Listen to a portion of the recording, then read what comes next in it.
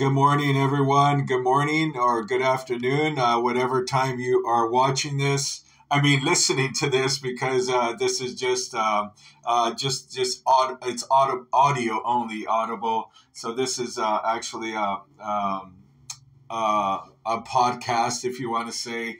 Welcome to another Sabbath service this morning. When this is recorded, this is early morning, and so. I just want to say Shabbat Shalom, happy Sabbath, peaceful Sabbath to you uh, out there, whoever's been following along with these Sabbath services. Um, according to the Lord's uh, rule and His law, uh, to observe the Sabbath. It's His uh, most precious, holiest day ever, ever. And I just want to say ever, uh, this Sabbath day of rest, uh, because not only is it the fourth commandment, but He worked uh he did he created all things in six days and on the seventh day he rested. And so welcome to another sabbath service. We'll be getting to those scriptures. And uh you know i've been doing a lot of meditation a lot of uh meditating on his word on his word uh and on creation itself you know and and uh it's just amazing how he created all things. And so we must this is not nothing that has to do with religion. It has nothing to do with religion. And I just want to, uh, for those who listen to this, uh, these Sabbath services, I just want to let you know this is not about religion. This is about something so intimate that we can't even wrap our heads around.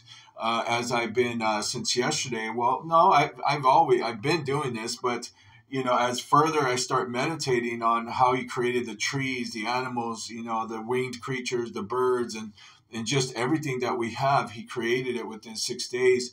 Uh, this is why he set the seventh day apart and he set it apart as holy for a set apart people.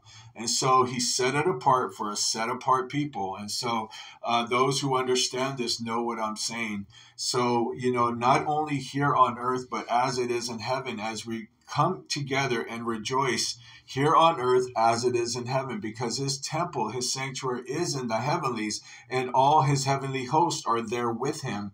And so he created them also.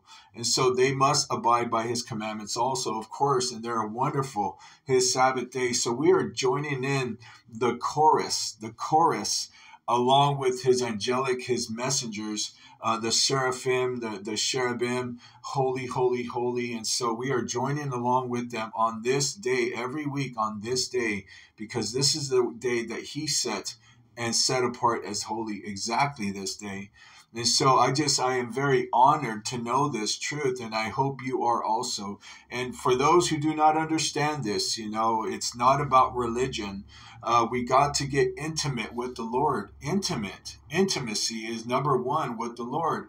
And uh, what do I mean? Uh, yesterday, um, yesterday, as the sun was setting, this is when we start the Sabbath. When the sun is setting, from evening to evening, uh, we start the Sabbath. And so, as I was outside, and I've lately I've been going outside, and I've been praying to the skies, to the heavens, and uh, feeling the, the the days are cooler now. You know, that's another thing I'm going to be talking about this morning, about how the time change, about the fall equinox that brings in the fall feast, and so it brings in the seventh month. And so I'll be speaking a little bit about that today as we proceed. So I went outside, and just to let you know, I went outside and I'm praying and, and I'm giving him thanks for the Sabbath. I'm, I'm praying over the meal I just made for me and my little dog.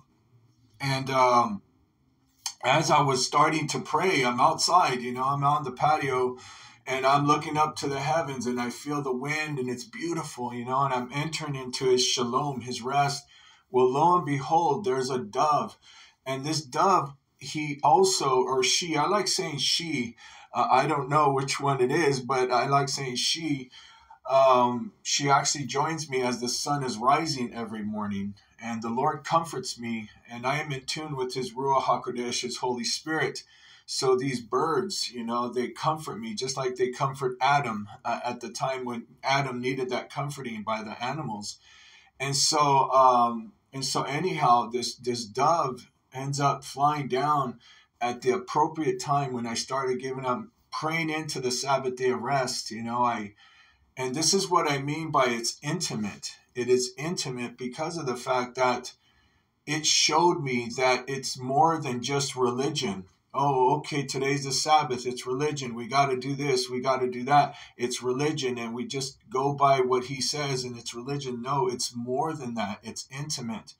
And so this is what he's been allowing for me to see in my walk in him that it's it's it's way beyond we could ever imagine.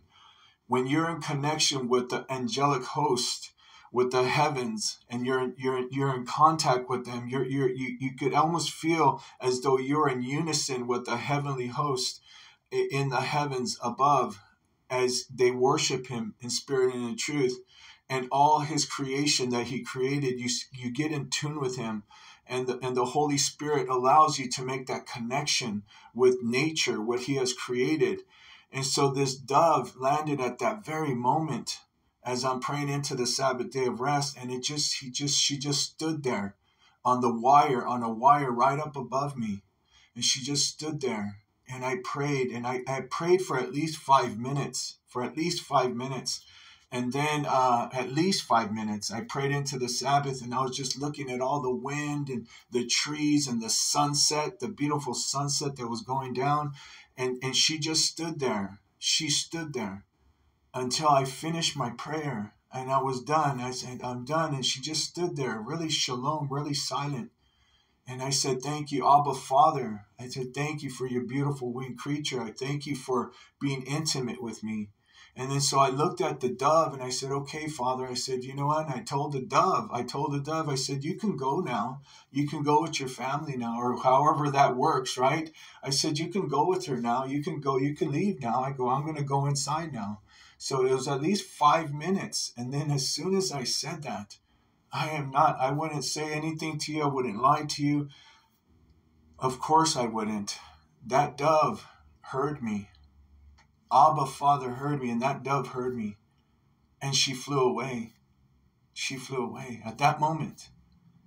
And so these are things I'm telling you that these Sabbath services that I've been making, I have been speaking them, you know. Um, you know, we're called to be a royal priesthood, a priest of our own families, and we are to sanctify this day. This is a holy day.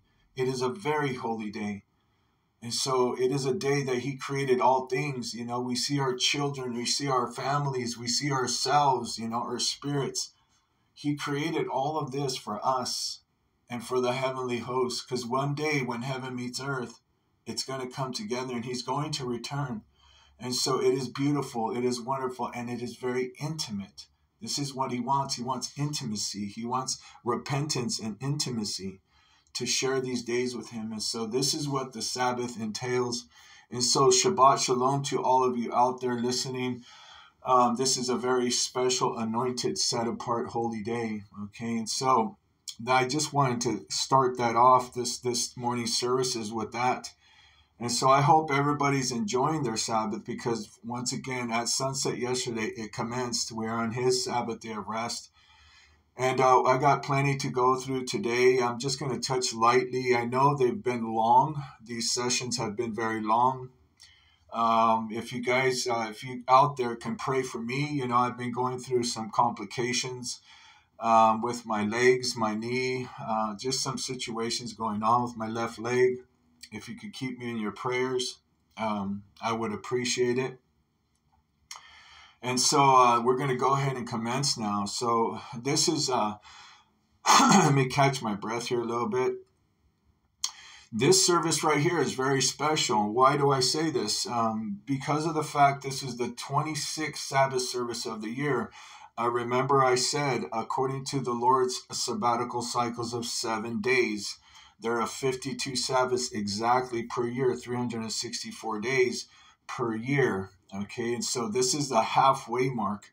the halfway mark is today's Sabbath service. This is Sabbath service 26. Okay, so it's the 26th Sabbath service of the year according to his creation until now. Uh, today is the sixth month, the 28th day. We're almost done with this month. We got a couple more days to go, and then we got the Feast of Trumpets coming in. Yes, the Feast of Trumpets. Okay, and so that will be uh, in just uh, this this coming Wednesday. This coming Wednesday will be the Feast of Trumpets. Yom Teruah. Okay, so this is uh, according to his calendar now. Okay, so those who do not understand his calendar yet, I am going to be doing more teachings on the calendar, and uh, and to just to show you, um, I'm going to be doing some teachings that uh, beyond a shadow of a doubt, uh, the Jewish calendar is off. The days are off, and um, they are off. They're they are off very much, and so. I just I'm going to do some teachings on that to edify, to build up, not to tear down, to edify. And uh, I will be coming out with that teaching very soon on this podcast. I will be doing it. I'm preparing it now, you know, and um, and so just be on the lookout for that.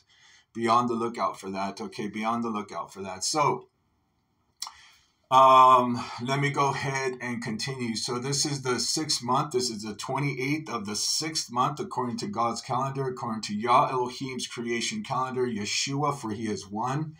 Uh, 5949, 5949, okay? And so from the 12th division, we got Yachim. From the 12th division, we got in the priestly order, we got Yakim, Yachim. And so today is September 14th, 2024. September 14th, 2024, okay? And so um, I just wanted to let you know on that subject before we start here, okay? And I'm just going to read something to you that um, really quick, and then um, and then one of the reasons I I'm going to pull this up for you, okay? Um, you know, the Lord created all things. Okay, He is the creator. And so if you believe in God, you believe in the Lord, you are a believer. Okay, we know that He created all things. Okay, he created the moon, the sun, the stars, all the planets. Okay, he created all the planets. All right, and so we got an equinox coming, right? And so uh, this equinox, it starts on the Gregorian calendar, it starts on the 22nd. And so I say, okay, well, he created all things. And so now with um, with technology, right? NASA and all the technology, well, they can tell with all their modern day equipment how this works, how this works. And so we're going to get to the message, okay? But how does this work? Well, I just seen this and I'm like, well, he he made the seasons. Of course he did. He made the summertime, he made the winter time, he made the fall, he made the spring. He made four different seasons. And this actually happens in the universe that he created in seven days. And he places his holy days in two of those seasons, in the spring season and in the fall season. So now you say, okay, so according to the calendars, whose calendar? This is what we're saying. Whose calendar? Well, we're saying his calendar. He's the one that created time, he's the one that created everything. So it's his calendar, it's his creation. So, but now we have the technology to understand that when there's a fall equinox, it's been some hot days, some really hot days, right? We went through a heat wave. And all of a sudden, we're getting close to September on the Gregorian calendar, September 22nd. And lo and behold, what's going to happen? An equinox. An equinox. I mean, you could physically study this and say, okay, and so I'm going to read you this, right? I'm going to read you this. Just this, this, this, this little part here, okay? The September equinox is the moment the sun crosses the celestial equator. Not to get too deep on you, right? The September equinox is the moment the sun crosses the celestial equator. an image, an imaginary line in the sky above Earth's equator from north to south. This happens on September 22nd, 23rd, or 24th in most years. Okay, that's it. Okay, I'm just going to let you know that's it. You say, well, what is it? The moment the sun crosses the celestial equator. Okay, who do you suppose made that happen? He's the creator. He did.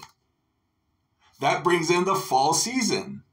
That starts off the seventh month according to his calendar. See, this is this is explaining his calendar right here. What I just tell you, that is explaining his calendar, and it never fails. It never is a, never a day late, according to his calendar. Okay, and so I thought you find that neat. Okay, it's really neat and you could you could you can uh, study this you could understand his seasons and how he placed his holy feast days in his seasons. And so this is why i'm saying this coming wednesday is the feast of trumpets because we have entered into a different season. We have entered into the fourth season. And where's the explanation? It's in the sky. When there's a change of season he did that. He created that. And so this is why i'm saying it's his calendar. And we cannot interrupt his calendar. It's impossible to interrupt his calendar. You would have to change the equinoxes. You would have to change what he has created. And it's already set year in, year out, year in, year out. We got four seasons of the year, year in, year out. Okay. He is just amazing. Okay. So I'm going to go ahead and start now because sometimes I could get going and all of a sudden I'm here like three or four hours, okay, and I can't be standing too long right now, just to let you know. I can't be standing too long or sitting too long, okay? And so, and yes, right now, just so you'll know, I am standing, and so, um, and so, yeah, I thought you find that very neat. Again, I'm going to come up with that special with love, okay, to all the rabbis and sages out there uh, that wrote the Midrash and the Talmud, okay, I've been doing some studying, and um, yes, I'm going to be coming out with some facts how this calendar that they're on is not according to uh, Yahweh's calendar. Okay, and so be on the lookout for that. Okay, and so let me go ahead and start now, and then um, and then so yeah, get ready for. It's already a change of season. It's and guess what the weather is. Yeah, and then I'm like looking at the weather. I always look at how much the percentage of the weather is, right? So we went from 103, 103, okay, just last week. Everybody was burning up. It was hot.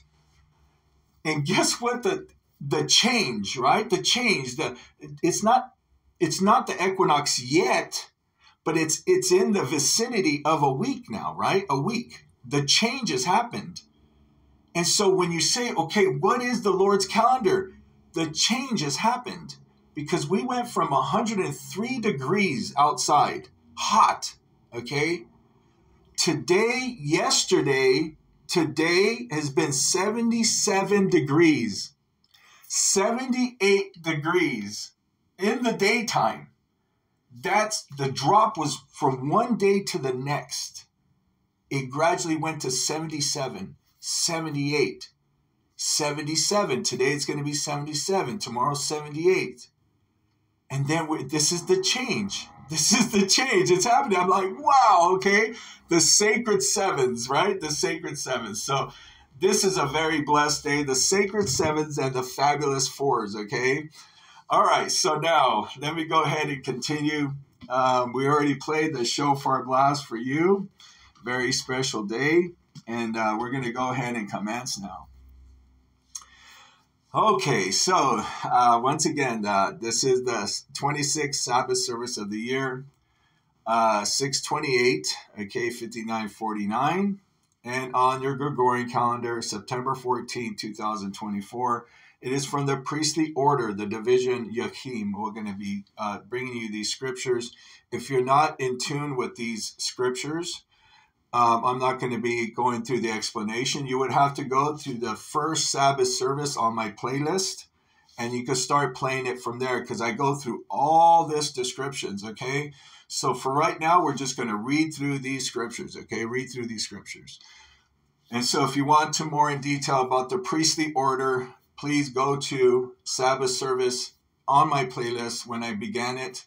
Uh, I think I believe there's like five of them now, five or six of them, and it gives you those those uh, explanations in depth. Okay, all right. So let's go ahead and continue. All right, let me uh, go ahead and get there. Revelation chapter 8, verse 3. And another messenger came and stepped next to the temple. And golden fire pans were in his hand, and much incense was given to him, to give it as the prayer of the set apart ones before the temple and before the throne. And Aaron, Exodus chapter 30, verse 7, and Aaron shall burn thereon sweet incense every morning. When he dressed the lamps, he shall burn incense upon them. In Genesis chapter 2, 1 through 3, the heavens and the earth and all their vast array were finished, and on the seventh day Elohim finished his work which he had done, and he rested on the seventh day from all his work which he had done. Then Elohim blessed the seventh day, and he sanctified it, and he made it holy because he rested in it from all his work of creation which he had done. And so let me just make a quick comment here. When you join in on this Sabbath day and you understand it and you get intimate with the Lord, this is going on in the heavens. I already explained that here on earth as it is in heaven because he created the heavenly host also. But just remember, you are you are practicing something that has been going on since the creation of the earth, the Sabbath day. You are practicing, you are in something. If you know this truth and you practice the Sabbath just the way He commanded us to, you are practicing it you're practicing a day that is being practiced, commanded ever since the beginning of time until now. And that's a lot of years according to our timing. Just understand this how honored that we could be practicing a holy day set in motion by Him for that long of a time. And it is still going today the Sabbath day still is going today. Why? Because he says it's going to be forever. Because he created all things in six days and he rested on the seventh. So when you are standing and you're worshiping on the Sabbath day, just know that you are practicing something that has been going on since the creation of the world, all the way till today. So I just want to mention that. So that was Genesis chapter 2, 1 through 3. What an honor! What an honor. Exodus chapter 31, verses 16 and 17. Therefore, the children of Israel shall keep the Sabbath, to observe the Sabbath throughout their generations for a perpetual covenant, a covenant that is forever. It is a sign between me and the children of Israel forever for in six days Yahweh made heaven and earth, and on the seventh day he rested and was refreshed. When he finished speaking with him on Mount Sinai, he gave Moses the two tablets of the covenant, stone tablets written with the finger of Elohim. Kadesh et Hayom, which means holiness of the Sabbath day. And so when you hear me speak in Hebrew, this is the language of Elohim. We must understand this. I don't speak too fluently Hebrew, just to be honest with you.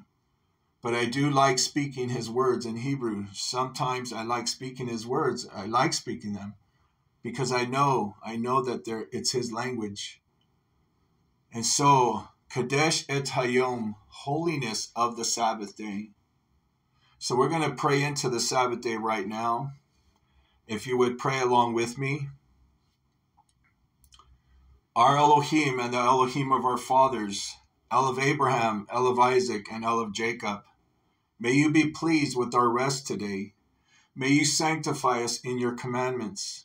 May you satisfy us from your goodness, and make us rejoice in your salvation.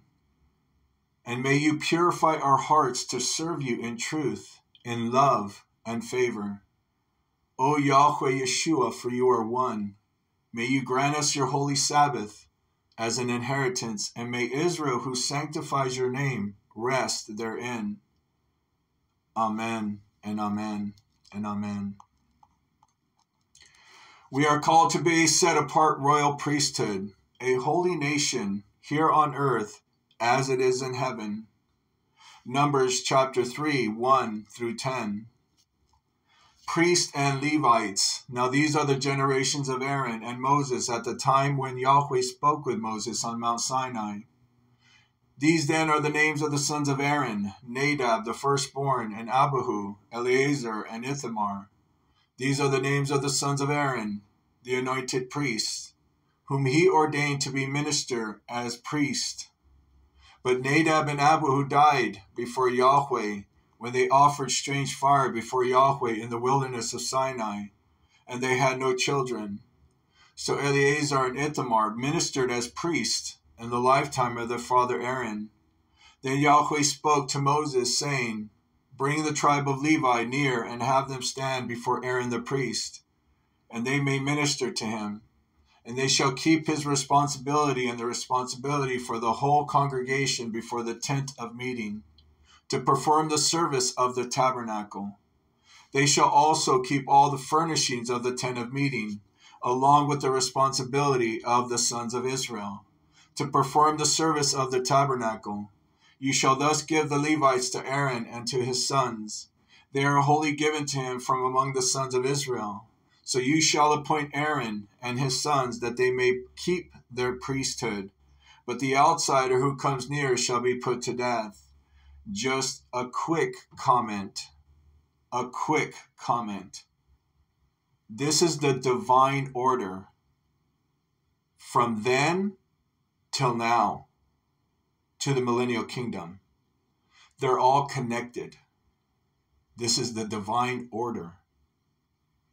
And this is what Yeshua, Jesus, came to mend. Mend.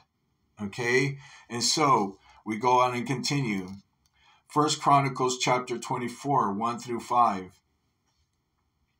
Now the divisions of the sons of Aaron were these. The sons of Aaron were Nadab, Abihu, Eleazar, and Ithamar.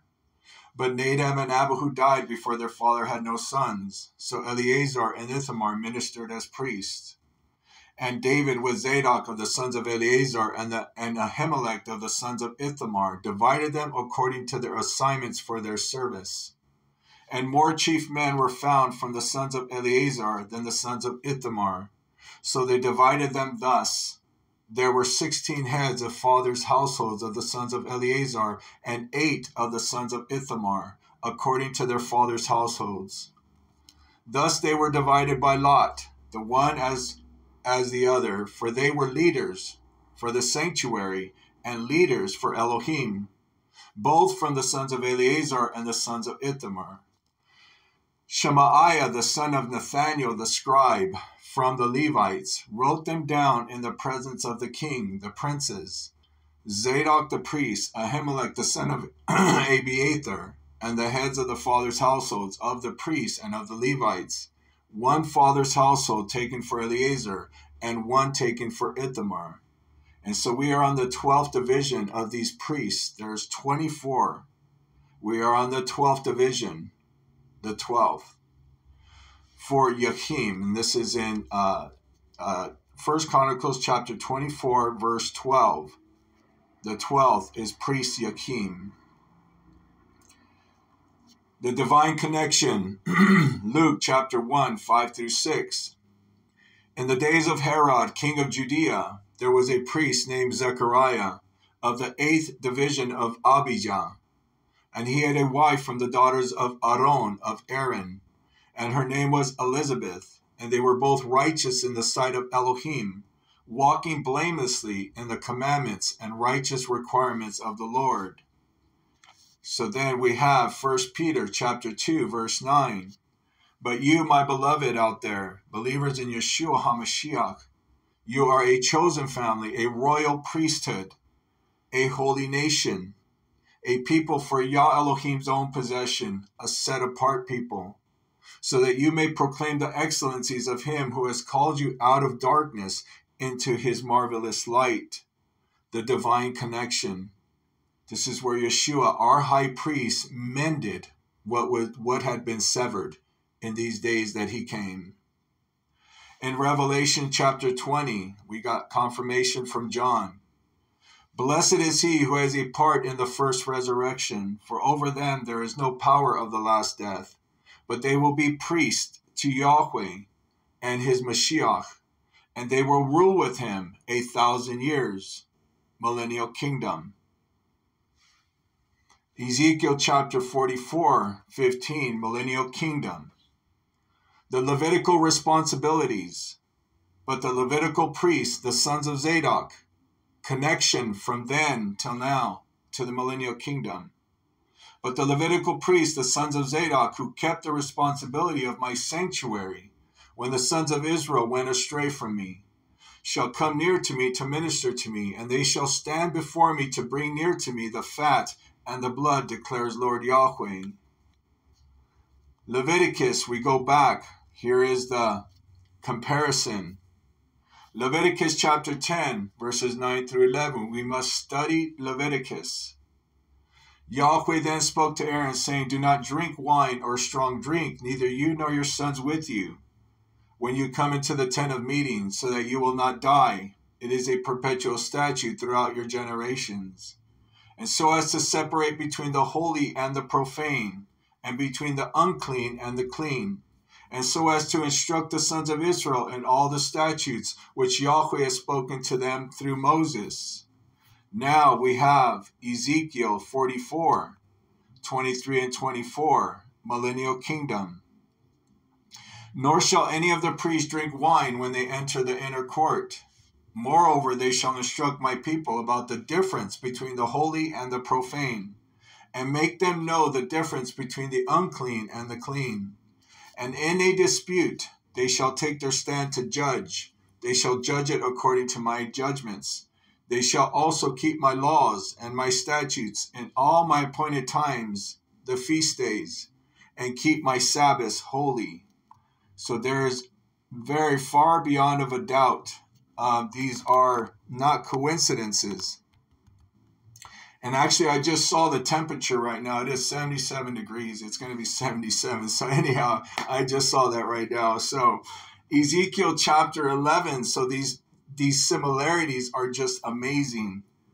How this continued Levitical priesthood, it just continues. And our high priest being Yeshua, our king, Yahweh Elohim, for he is one. Verse Ezekiel chapter 11, verse 16. Therefore say, Thus says Lord Yahweh, although I have cast them far off among the Gentiles, and although I have scattered them among the countries, yet I shall be a little sanctuary for them in the countries where they have gone. Hosea chapter 14, verse 2.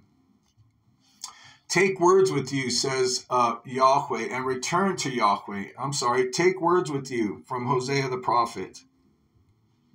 Take words with you and return to Yahweh. Say to him, Take away all iniquity. Receive us graciously.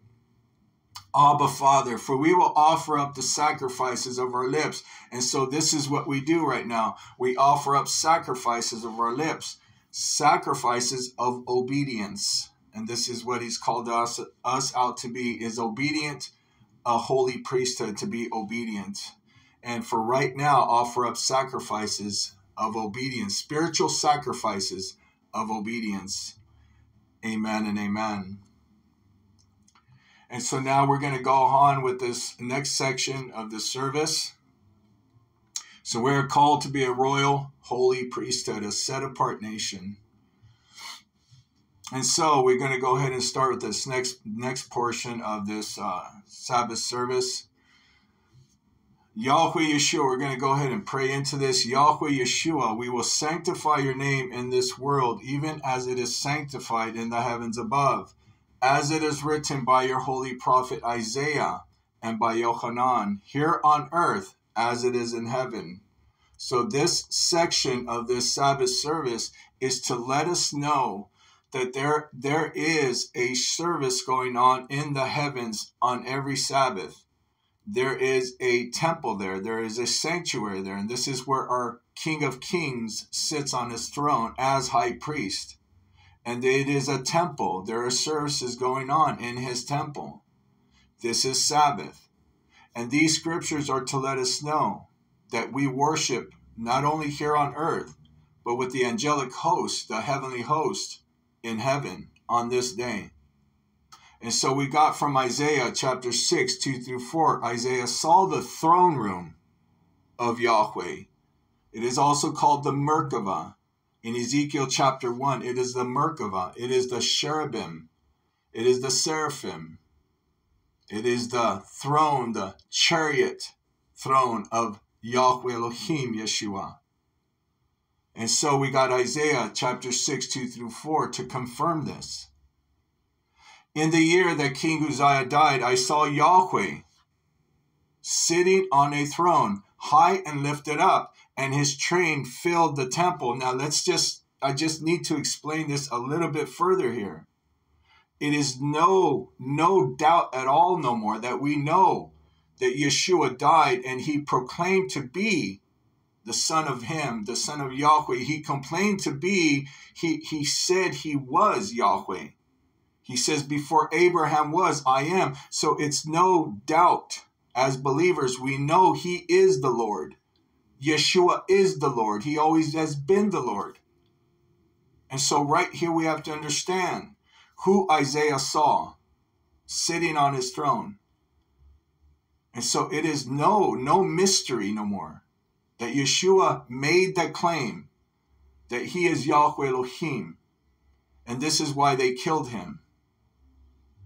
And so we must understand this. So when I read the scripture, we can see this. And who was sitting on the throne? Who is King of kings and Lord of lords? Who sits on his holy throne? It's our high priest, it's our king, it's our creator. And so I'm going to go ahead and read Isaiah chapter 6, 2 through 4. In the year that King Uzziah died, I saw Yahweh sitting on a throne, high and lifted up, and his train filled the temple. Above him stood seraphim, each having six wings. With two wings they covered their faces, with two they covered their feet, and with two they were flying. And they were calling out to one another, Kadosh, Kadosh, Kadosh. Holy, holy, holy is Yahweh of hosts, Yahweh Yeshua. All the earth is full of his glory. All the earth is full of his glory. At the sound of their voices, the doorposts and thresholds shook, and the temple was filled with smoke. So, my beloved, together in unison, together in unison, wherever you are at right now. May, may we partake in this one more time together. Wherever you are, you're listening to this. Just say it with me. Believers, set apart believers out there, say it with me. Say it with me. Kadosh, Kadosh, Kadosh. Holy, holy, holy is Yahweh Yeshua of hosts. All the earth is full of his glory. Because as we are doing this, we're in unison. We're in unison with them in the heavens together, proclaiming and giving glory to Yahweh Elohim Yeshua. Kadosh, Kadosh, Kadosh, here on earth as it is in heaven. He is holy. At the sound, verse 4, at the sound of their voices, the doorposts and thresholds shook, and the temple was filled with smoke. The temple. Then I said, Woe is me, for I am undone. I am undone, because I am a man of unclean lips, and I live amongst a people of unclean lips. For my eyes have seen the King, Yahweh of hosts. Then one of the seraphim flew to me, having a live coal in his hand, which he had taken with the tongs from off the altar he touched my mouth with it, and behold, he said, Behold, this has touched your lips, he says, and your iniquity is taken away, and your sin forgiven, atoned for, We're going to be talking about the Day of Atonement today. I heard the Lord's voice saying, Whom shall I send, and who will go for us? And then I said, Abba, Father. I said, Abba. I said, Abba, Father. Heneni, here I am. Send me, Abba. Amen and amen and amen. And so we have in Revelation chapter 4, 1 through 8, the Merkava, which means, if you're not aware of what the Merkava is, it's the chariot, chariot throne, the chariot throne, the throne room of Yalohim, his temple, in Hebrew. Revelation chapter 4, 1 through 8 says, And after this I saw that a door was open in the heavens, and now this is Yochanan confirming he also saw this temple and the temple services going on. He says, After this I saw that a door was open in the heavens, and the first voice which I heard that spoke with me, like the voice of a shofar, said to me, Come here, and I want to show you what will happen after this. And forthwith and immediately the Ruach HaKodesh rested on me, and I saw a throne sitting in the heavens, and one sat on the throne and he who sat on it, his appearance was like the appearance of the stone sapphire and jasper. And all around the throne was a bow like turquoise. And around the throne were twenty four thrones, and twenty four elders sat on them. Clothed with white garments, on their heads was a crown of gold, white linen, clothed with white linen. And from the throne there were they went out the white linen has everything to do with being a royal priest, wearing white linen, white garments. Just as uh, he gave the instructions to Aaron and the priests. And from the throne there went out voices and thunders and lightnings. And there were seven lamps before the throne. And they are on the seven spirits of Yahweh, the seven ruchot of Yahweh. And before the throne was a sea of glass like the appearance of crystal. And in the midst of the throne and around the throne were four living beings, four living creatures, full of eyes at their front and at their back. And the first living creature was like the appearance of a lion, and the second like an ox, and the third like a man, and the fourth like an eagle and each one had six wings. Also from the inside they were filled with eyes, and they do not have rest day or night, but say continually, Kadosh, Kadosh, Kadosh is Yahweh Tzevaot, the mighty, who was and is and will be. Once again, Kadosh, Kadosh, Kadosh is Yahweh Tzevaot, the mighty, who was and is and will be. Amen and amen. And so that concludes the, the beginning of these Sabbath services. I include all these scriptures for a reason so that you can hear them over and over and over, and so that it could be really placed in your heart to study this divine connection. This is why I go through all those scriptures at the beginning of every Sabbath service so that you can study this. And the more you study this, you see the divine connection on what we should be studying right now as a priesthood. Because when you die and you are a believer, you want to be uh, told, good and faithful servant. You want to know about these offerings that are going to be going on in the millennial kingdom, as we read in Ezekiel. We are to be reading about the offerings, how these things will be going on, and to conduct our lives in obedience to his commandments according to what they'll be teaching. His laws will go forth from Zion. His laws will go forth, and they have never been abolished. So let us understand this, my beloved. That is the introduction of this Sabbath day service unto the Lord. Amen and amen. And so the Sabbath psalm of the week, this is Psalm 26. Psalm 26. This is the Sabbath psalm of the week of this sabbatical Sabbath day. Psalm 26 says, Give justice to me, O Yahweh. A psalm of David. Give justice to me, O Yahweh, for I have walked in my integrity, and I have trusted in Yahweh. I will not waver. Test me, O Yahweh, and try me. Refine my mind and my heart, for your loving kindness is before my eyes, and I have walked in your truth. I do not sit with worthless men, and I do not go with pretenders. I hate the assembly of evildoers, and I will not sit with the wicked. I shall wash my hands in innocence.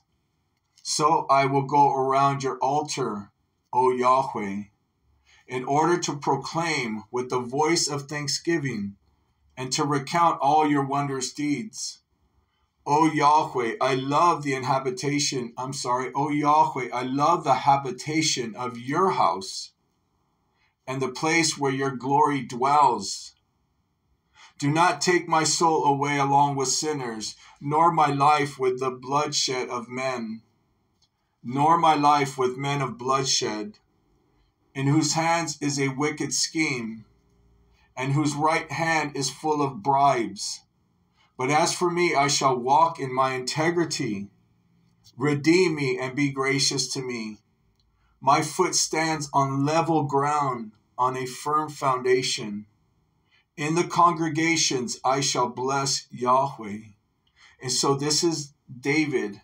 He understood the Merkava. He understood the throne room of the house of Elohim. He understood the services that go on. He understood this. He was very, of course, he spoke with him. He talked with him. He knew these things were going on in the heavens, in the throne room of heaven and he loved it so very much. He was a man after after the Father's own heart. He loved his commandments. He loved being obedient. He, he knew about the Sabbath day. He knew that there is no work to be done. He knew this. And so, Abba Father, thank you so very much for David. Thank you so very much for using these mighty men.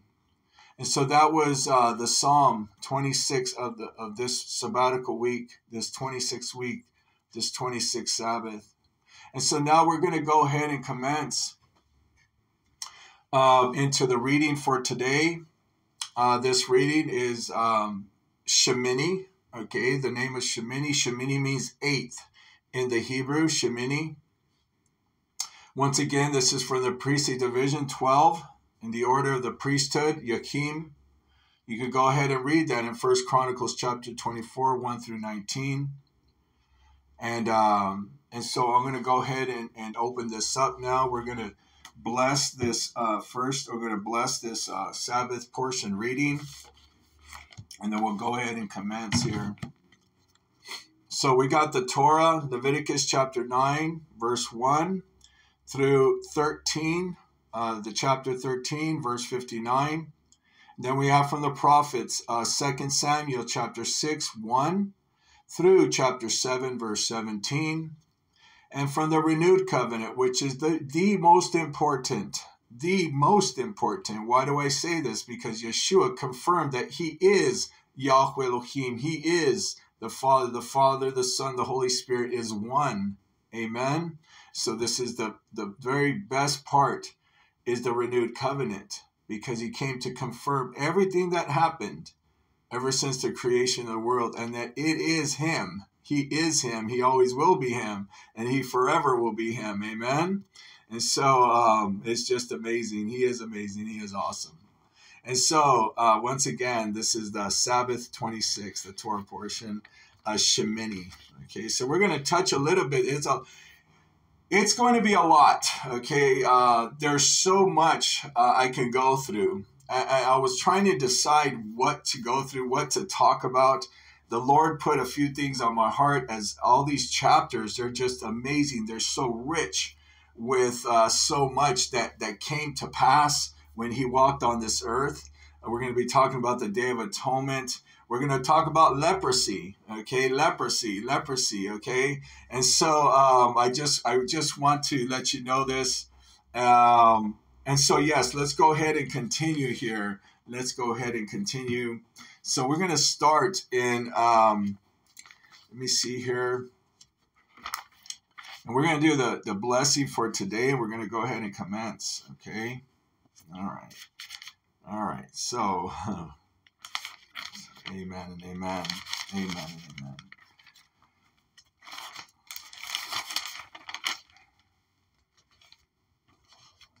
Okay, so Shemini, uh, Sabbath 26. Uh, maybe I'll be speaking on leprosy, maybe not. Okay, but anyhow, uh, we'll just see right now. We're going to be going over this Torah portion today. And so let me go ahead and uh, and uh, commence, okay, with the Sabbath blessing. Okay, so we're going to go ahead and continue uh, with, uh, I'm sorry, just I said uh, pray into the Sabbath. We already prayed into the Sabbath, pray into this portion of the reading from His Word, okay. And so, if I may, I'm going to go ahead and start with uh, Sephatai. Sephatai in the Hebrew means my lips, okay, my lips. And so this is a prayer um, that is going to rise up to the Lord, and uh, may He open up my lips. So it's it's it goes like this: Adonai sefetai tiftach, ufi yagid tehilatecha. Adonai, may you open up my lips so that my mouth may declare your praise.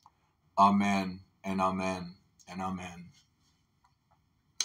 Yihiyu leratzon, which means may they be acceptable and I'm, I'm going to give these definitions, probably be the last time I'll give you the definitions um, because I'm just going to pray into them myself.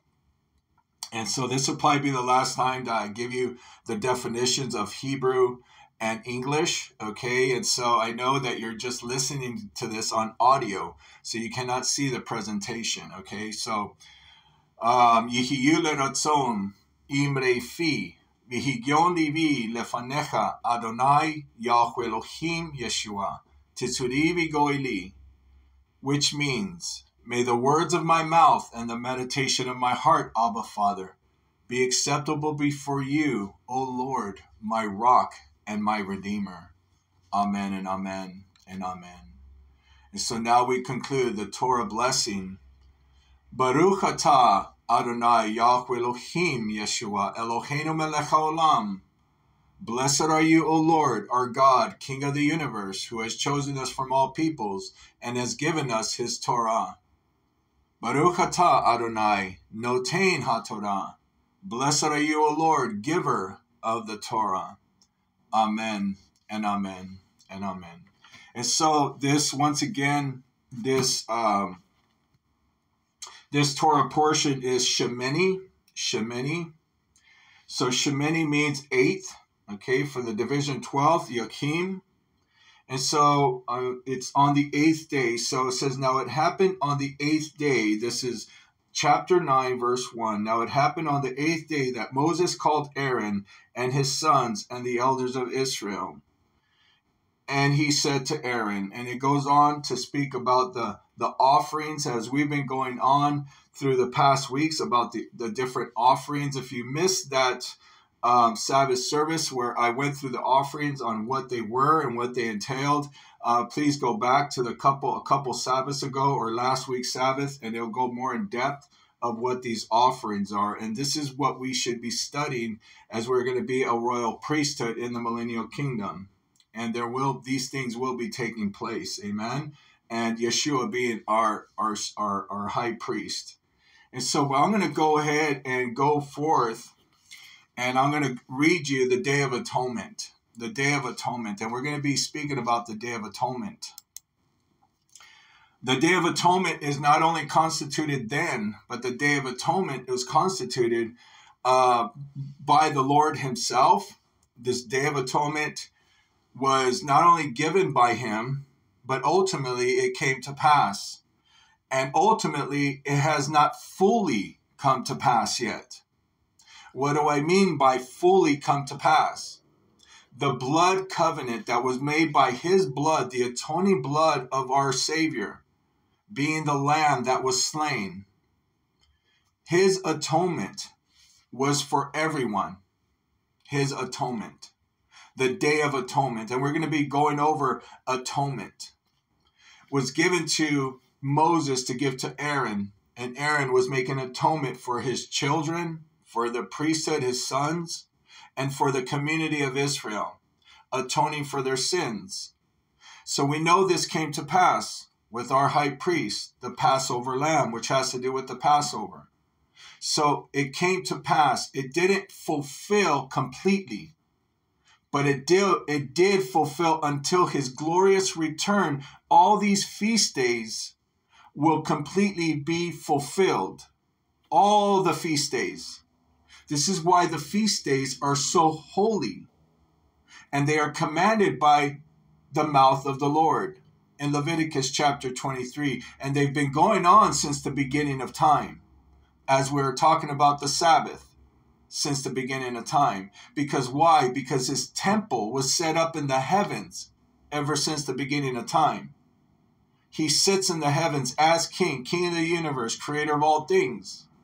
So these feast days, they have been thought of and they have been proclaimed by Yahweh Elohim Yeshua himself ever since the creation of the earth. He is the beginning and the end. He knows the first, he's the first and the last. He knows everything in between. He knows the future. He knows our thoughts as we think them. He knows our hearts. He knows the intentions of our hearts. And so he knows history. He knows what's going to be happening next month. He knows what's going to be happening next year, and especially in Israel and all over the earth. It's his earth. He knows history. Of course, he made history. He created all things. He created time itself. Time is precious. This is why we cannot get involved with his time. We cannot change it. He created time in itself. He created the days. He created mankind. This is why we can't interrupt his time. It's impossible. He set it forth in motion, and he's going to return in the days that he set, which have everything to do with the spring feast and the fall feast. And so we're going to be we're going to be zeroing in, in on the day of atonement. When he died for our sins, he atoned for our sins to be forgiven of our sins by his blood. He, by his blood, he confirmed the covenant that he made to Abraham. He confirmed his covenant. And it's going to come to pass when he returns into the day of atonement for Israel's redemption. Those who, who are stiff necked and those that don't want to put their faith and trust in Jesus, Yeshua HaMashiach, in Jesus Christ for as their Lord and Savior, as their Messiah, as their Mashiach. Those who are stiff necked all the way until that day. And so that day of atonement needs to come to pass, and that's entering into his millennial kingdom, Israel's redemption. And so, yes, do they have the choice to choose to be atoned for right now, today? Yes, everybody. Everybody across the whole world has the choice to make for their sins to be atoned for, forgiven, by placing your faith and trust in Jesus Christ, Yeshua HaMashiach, Jesus, Yeshua, Messiah, so that your sins can be blotted out, so that you can be saved. For today is a day of salvation, and they have every right to believe in Him. We're talking about the Jews, we're talking about the rabbis, we're talking about those who change so many things according to their midrash, according to their their uh, their uh, their Talmud, and their midrashes and their Talmud. They changed many things. They added many laws. They added many rules. They have time to repent. And Yeshua, like I said earlier, Yeshua came to give them, he brought it to them first because he knows what was going on in those days. He knows how they corrupted the priesthood. He knows how the temple was corrupted, the same temple that condemned him to death. He brought salvation for them to repent, and he brings it for them today to take away, to change the things that they changed, to change the rules and all those days that they added to his calendar and so forth for changing his calendar. He offers them repentance still to this day to be atoned for. And so we, we're going to go ahead and commence with this Day of Atonement. And so in chapter 9, verse um, We're going to take it verse 6 and 7. Chapter 9, verse 6 and 7. It says, And Moses said, This is the thing which Yahweh has commanded you to do, that the glory of Yahweh may appear to you. Moses then said to Aaron, Come near to the altar and offer your sin offering and your burnt offering, that you may make atonement for yourself and for the people. Then offer the offering for the people, that you may atone for them, that you may make atonement for them, just as Yahweh has commanded. So, who was acting priest? Who was acting high priest? Aaron was. So when you make this holy connection, this divine connection, who is our high priest? Who is acting high priest that was given these directions to do on behalf of Israel? Well, this was Aaron. He was chosen. He's the only one that had the right. He was chosen.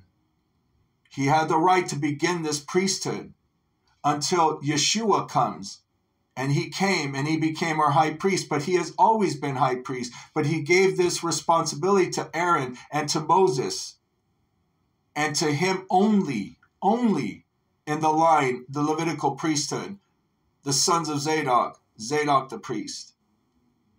And this is what Yeshua came to man because our high priest came in the order of Melchizedek. And so now we go back to this atonement, and now we read it once again in chapter 9, verse 7. Verse 6 and 7, it says, And Moses said, This is the thing which Yahweh has commanded you to do, that the glory of Yahweh may appear to you. Moses then said to Aaron, Come near to the altar and offer your sin offering and your burnt offering, that you may make atonement for yourself and for the people. Then offer the offering for the people that you may make atonement for them, just as Yahweh has commanded. And so now we're going to go, and then we're going to go ahead and read uh, this Day of Atonement now. And so we're going to go ahead and get to these scriptures here. In Leviticus chapter 23, first we're going to take it from, yes, Leviticus chapter 23.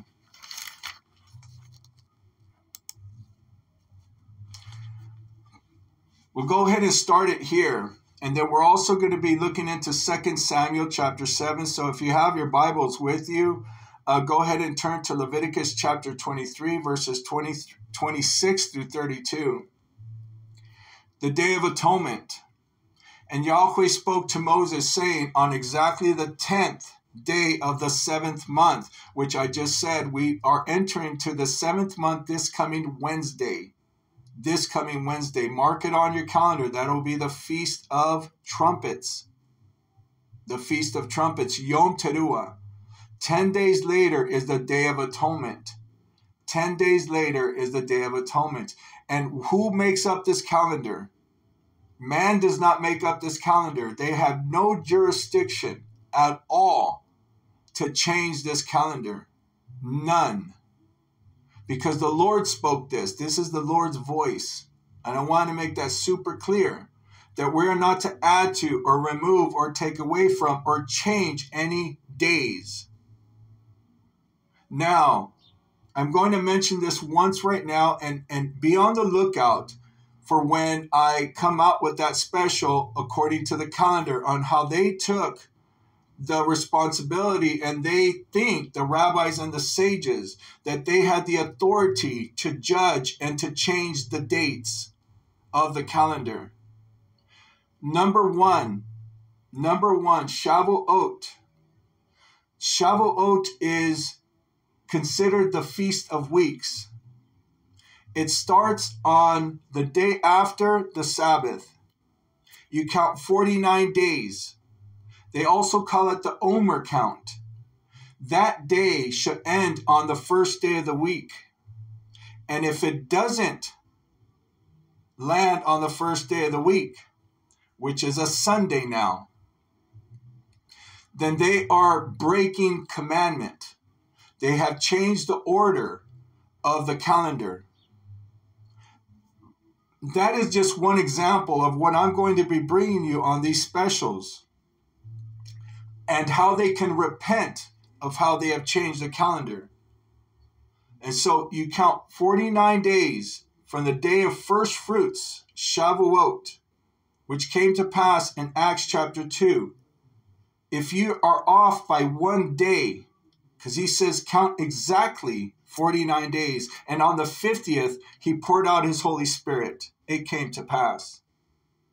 And so, if you, according to their calendar, the Jewish calendar, you can take that day and you can count, okay, the day of resurrection, first fruits, you can count 50 days, and it should end on the first day of the week, on a Sunday. If it comes out to a Monday, if it comes out to a Tuesday, if it comes out to a Wednesday, then you just broke commandment. And you can tell that that calendar is mistakenly off. Just by that one, and I got more for you. So, why do I say all this? Because the Day of Atonement is exactly the same. It gives you specific dates. Okay, so now we go on with the Day of Atonement. And Yahweh spoke to Moses. So, this coming Wednesday is going to be the Feast of Trumpets. Okay, so we know that starts, and 10 days after that is the Day of Atonement. Okay, exactly.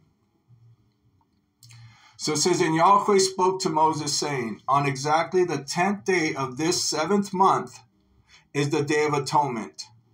It shall be a holy convocation for you, and you shall humble your souls and bring an offering by fire near to Yahweh.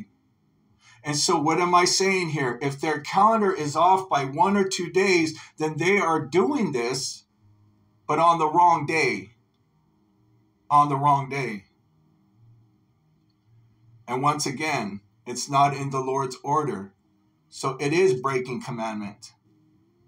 And so now you go to verse 28, it says, And you shall not do any work on this same day, any work for it is a day of atonement, it is a Sabbath day. It will be a Sabbath day. We still consider this, and yes, forever will be a Sabbath day. and as we're reading, it's a perpetual covenant. We're going to be reading this. And you shall not do any work on this same day, for it is a day of atonement, to make atonement on your behalf before Yahweh your Elohim. If there is any person who will not humble himself on this same day, he shall be cut off from among his people.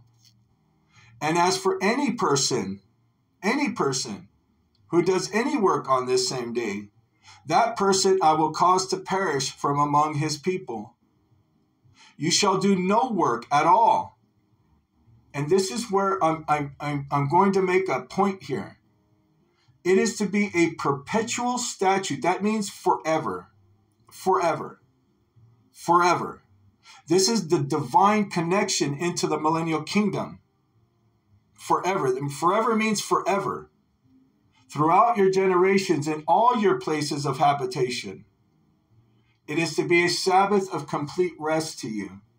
And you shall humble your souls on the ninth of the month at evening, from evening until evening you shall keep your Sabbath. So you say, why evening to evening?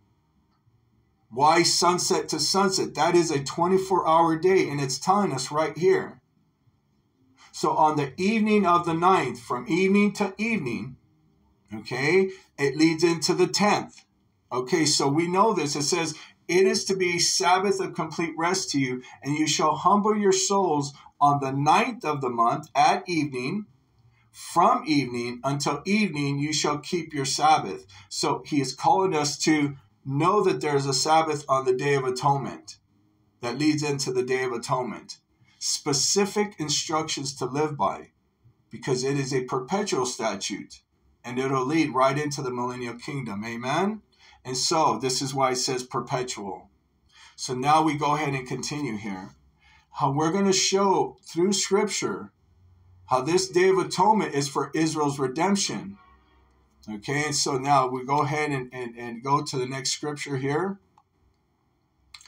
Now, once again, the blood covenant, the covenant that was confirmed by Yeshua. Yeshua being Yah Elohim. It's no, it's no, it's no mystery. Him and the Father are one. So when he came, he confirmed this by his blood. Every law that was given by his fingers, every law that was given was confirmed by his blood. He lived in obedience to all the covenant all the covenant laws. He was obedient to death. And he offered them forgiveness by his blood. Especially as the time that they were living in when he came at a perfect time when they, they had made up all their rules and regulations, the Talmud and the oral laws, etc., at a perfect time, when that temple was corrupt. And so in Matthew 27, verse 50 through 54, he came to atone for their sins because he knew what would happen to the Talmud. And it continued throughout that time after his death, after his resurrection. They began it then. It, it started in BC, 175 BC, when the temple was desecrated by Antiochus Epiphanes IV. And he set up a Seleucid, a Seleucid, a god worship, if you want to say, which was Zeus. And so this priesthood had been corrupted. That temple of the Lord had been corrupted, desecrated by a pig being slaughtered on the altar by Antiochus Epiphanes IV. And so all the righteous priesthood, all the righteous priesthood from Aaron, that he only gave the authority to Aaron and to all the priests to keep the temple in order, to keep the temple righteous by following his Torah, his commandments, and his Torah and his commandments only, not adding to or not taken away which if you would read the Mishnah, you would read all the Talmud, you read so many things that they changed about the Levitical laws and everything. They added so much. And this is evident, evident. So he came at a time and he reestablished the order, the priestly order. And he calls us to be a royal priesthood to carry on that righteous order in our lives as a priest in our families and a priest in our communities and a priest that when we die we will become those priests in the in the in the millennial kingdom with him and him being our high priest. A royal priesthood a set apart people. And so but they have the the the the same the same offered to us atonement for the blood that atones for our sins our trespasses. Well he brought it for them and for everyone. And many decided not to believe in him, but many did. This is where we have messianics, Jews that believe in Yeshua Mashiach as their Lord and Savior. And they need to know this also about the priesthood. Many do not understand it, they don't grasp it yet. And so, this is one of the reasons we take this to the Jews and the Gentiles together one new man, one new man. And so in Matthew chapter 27, verses 50 through 54, it says, And Jesus cried out again with a loud voice and yielded up his spirit. And behold, the veil of the sanctuary was torn in two from top to bottom. He says, No more. I opened it up. I opened it up to all of you. It says, And the earth shook, and the rocks were split. And the tombs were opened, and many bodies of the saints who had fallen asleep were raised. And coming out of the tombs after his resurrection, they entered the holy city and appeared to many. Now the centurion and those who were with him keep uh, keeping guard over Jesus, Yeshua. When they saw the earthquake and the things that were happening, became very frightened and said, Truly, this was Elohim's Son. Amen and amen. So, why do I mention this scripture? It was the atoning blood. It was the atoning blood confirming the covenant. Amen. And so now we go on to Matthew, uh, Ezekiel, I'm sorry, chapter 36, 22 through 38. Now I'm reading into the millennial kingdom the Day of Atonement, when it'll fully come to pass.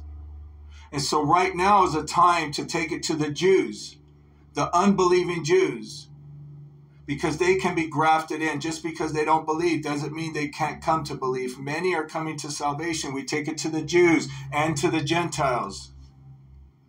Salvation, the good news of salvation. For trespassing his commandments and the way, the way to have the Holy Spirit placed inside of our hearts so that we can obey his commands, so that we may be in obedience to his commandments, his laws, and his ways because this is exactly what he's going to do with Israel in that day when he returns. So, this is the Day of Atonement come to pass, fully come to pass. And so in Ezekiel chapter 36, 22 through 38, it says, They will know that he is Yahweh, Yeshua, the one they pierced. Therefore say to the house of Israel, Thus says Lord Yahweh, it is not for your sake, O house of Israel, that I am about to act. And this is for Israel. Whoever's listening, whoever's a Jew, they don't believe in Mashiach. It is not for your sake, O house of Israel, that I'm about to act, but for his holy name, which you have profaned among the nations to which you have come. I will prove the holiness of my great name which has been profaned among the nations, which you have profaned in their midst. Then the nations will know that he is Yahweh, declares Lord Yahweh. When I prove myself holy among you in their sight, and I will take you from the nations, gather you from all the lands, and bring you into your own land. Then I will sprinkle clean water on you, and you will be clean, atoning for them. I will cleanse you from all your uncleanness and from all your idols. Verse 26 Moreover, I will give you a new heart and a new spirit within you. And I will remove the heart of stone from your flesh and give you a heart of flesh. I will put my spirit, my Holy Spirit within you and cause you to walk in my statutes, and you will be careful to do my judgments, his laws. And you will ha- inhabit the land that I gave to your fathers, so you will be my people, and I will be your God, your Elohim. And so, this is what I'm saying about the blood covenant, the atonement when Yeshua died for our sins. He does exactly the same thing he places His Holy Spirit. When you become a believer, a believer in Yeshua, a believer in Jesus Christ, when you become a believer, the Holy Spirit enters your heart. And what is the reason for it? To help us to be obedient to His commandments. Because He's going to be doing this with Israel on that day, atoning for their sins because they were stiff necked all the way until that day. There's going to be many that will not believe in Him until He returns and then they look upon the one they pierced. And he will forgive them. And he will place the Holy Spirit, just like he offers everybody right now, into their hearts. Why, though? Why does he put the Holy Spirit in their hearts? Number one, to show them that he is Yahweh Elohim. He is the one that came. Number one, the scriptures will be open to them so that they can truly follow the commandments of the Lord. Not all those that were made up in the Talmud, the oral laws, the days that they made up on their own, which they think they have the authority to do. But only to obey his commandments because they are not burdensome. They are not burdensome. They're not complicated, which they made things so very complicated. And so he will forgive them for adding, taking away, and adding, and also for disrupting his calendar. They will be forgiven. And the Holy Spirit he will put in their hearts. And he'll give them understanding of the true Torah and the Torah only, and on who Mashiach is, which is Yahweh Elohim, the one they pierced. When he came to offer them atonement for their sins, right now he has offered them atonement for their sins and they must they, they i just i pray that they would believe this and receive him as lord and savior Yeshua HaMashiach. He is the Mashiach. And he came and he's going to return. And so, this, once again, verse 27, it says, I will put my Ruach, my Holy Spirit, within you and cause you to walk in my statutes. This is what should happen in a believer's life when they accept Jesus as their Lord and Savior. You should welcome the commandments. You should welcome the obedience and the commandments. You should want to study more about how to become a royal holy priesthood in the order, in the same order as Aaron and his sons, in the order of Melchizedek, who is Yeshua HaMashiach, I truly believe. Amen and amen. And so now, we go, uh, I'm going to go ahead and read the rest of that, and then we'll go ahead and commence. Verse 29, it says, Moreover, I will save you from all your uncleanness. Give me a second here. I will save you from your uncleanness, and I will call for the grain and multiply it, and I will not bring a famine on you. So this is uh, Ezekiel 36 still. 36 30.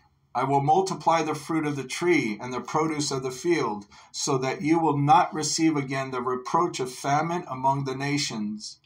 Then you will remember your evil ways and your deeds that were not good and you will loathe yourselves to your own faces for your iniquities and for your abominations. I am not doing this for your sake, declares Lord Yahweh. Let it be known to you. I'm not doing this for your sake, declares Lord Yahweh. For any of us, any of us. He's not doing it for our sake. It says, Let it be known to you. Be ashamed and feel dishonor for your ways, O house of Israel. Thus says Lord Yahweh, on the day that I cleanse you from all your iniquities, atoning, the day of atonement, I will cause the cities to be inhabited and the waste places to be rebuilt. This is his millennial kingdom on earth. The desolate land will be cultivated instead of being a desolation in the sight of everyone who passes by. And they will say, This desolate land has become like the Garden of Eden. Beautiful beautiful. And the waste, desolate, and ruined cities are fortified and inhabited. Then the nations that remain all around you will know that I, Yahweh, have rebuilt the ruined cities and planted that which was desolate. I, Yahweh, have spoken and will do it. Thus says Lord Yahweh, this also I will let the house of Israel inquire of me to do for them I will increase their men like a flock, like the flock for holy offerings, like the flock at Jerusalem during her appointed times. So will the waste cities be filled with flocks of men. Then they will know that I am, He is Yahweh Elohim Yeshua. Because Yeshua also stated, Before Abraham was, I am. It is no coincidence, it is no mystery. Him and the Father are one. Amen. And so now we go ahead and we're going to go to this also was the covenant of the blood covenant given as a Davidic covenant that a Mashiach would come. And he came and he's coming again. So in 2 Samuel, verse 7, verses 12 and 13, this is the Davidic covenant, the blood covenant that came to pass and will come to pass upon its completion to fulfill all these wonderful prophesied holy days.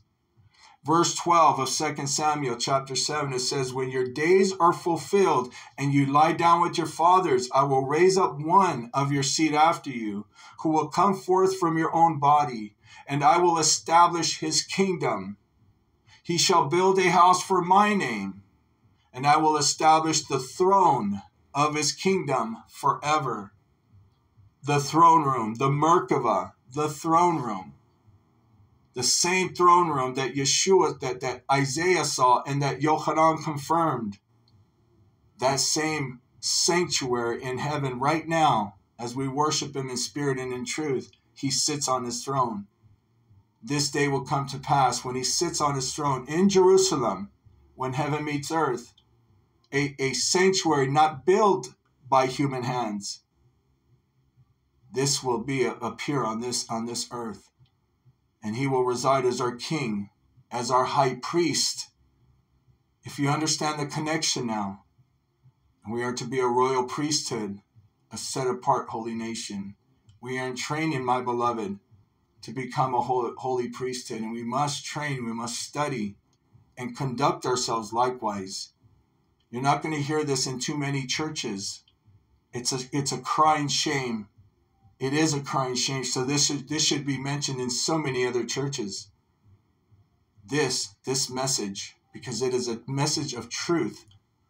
A message of truth. Amen and amen.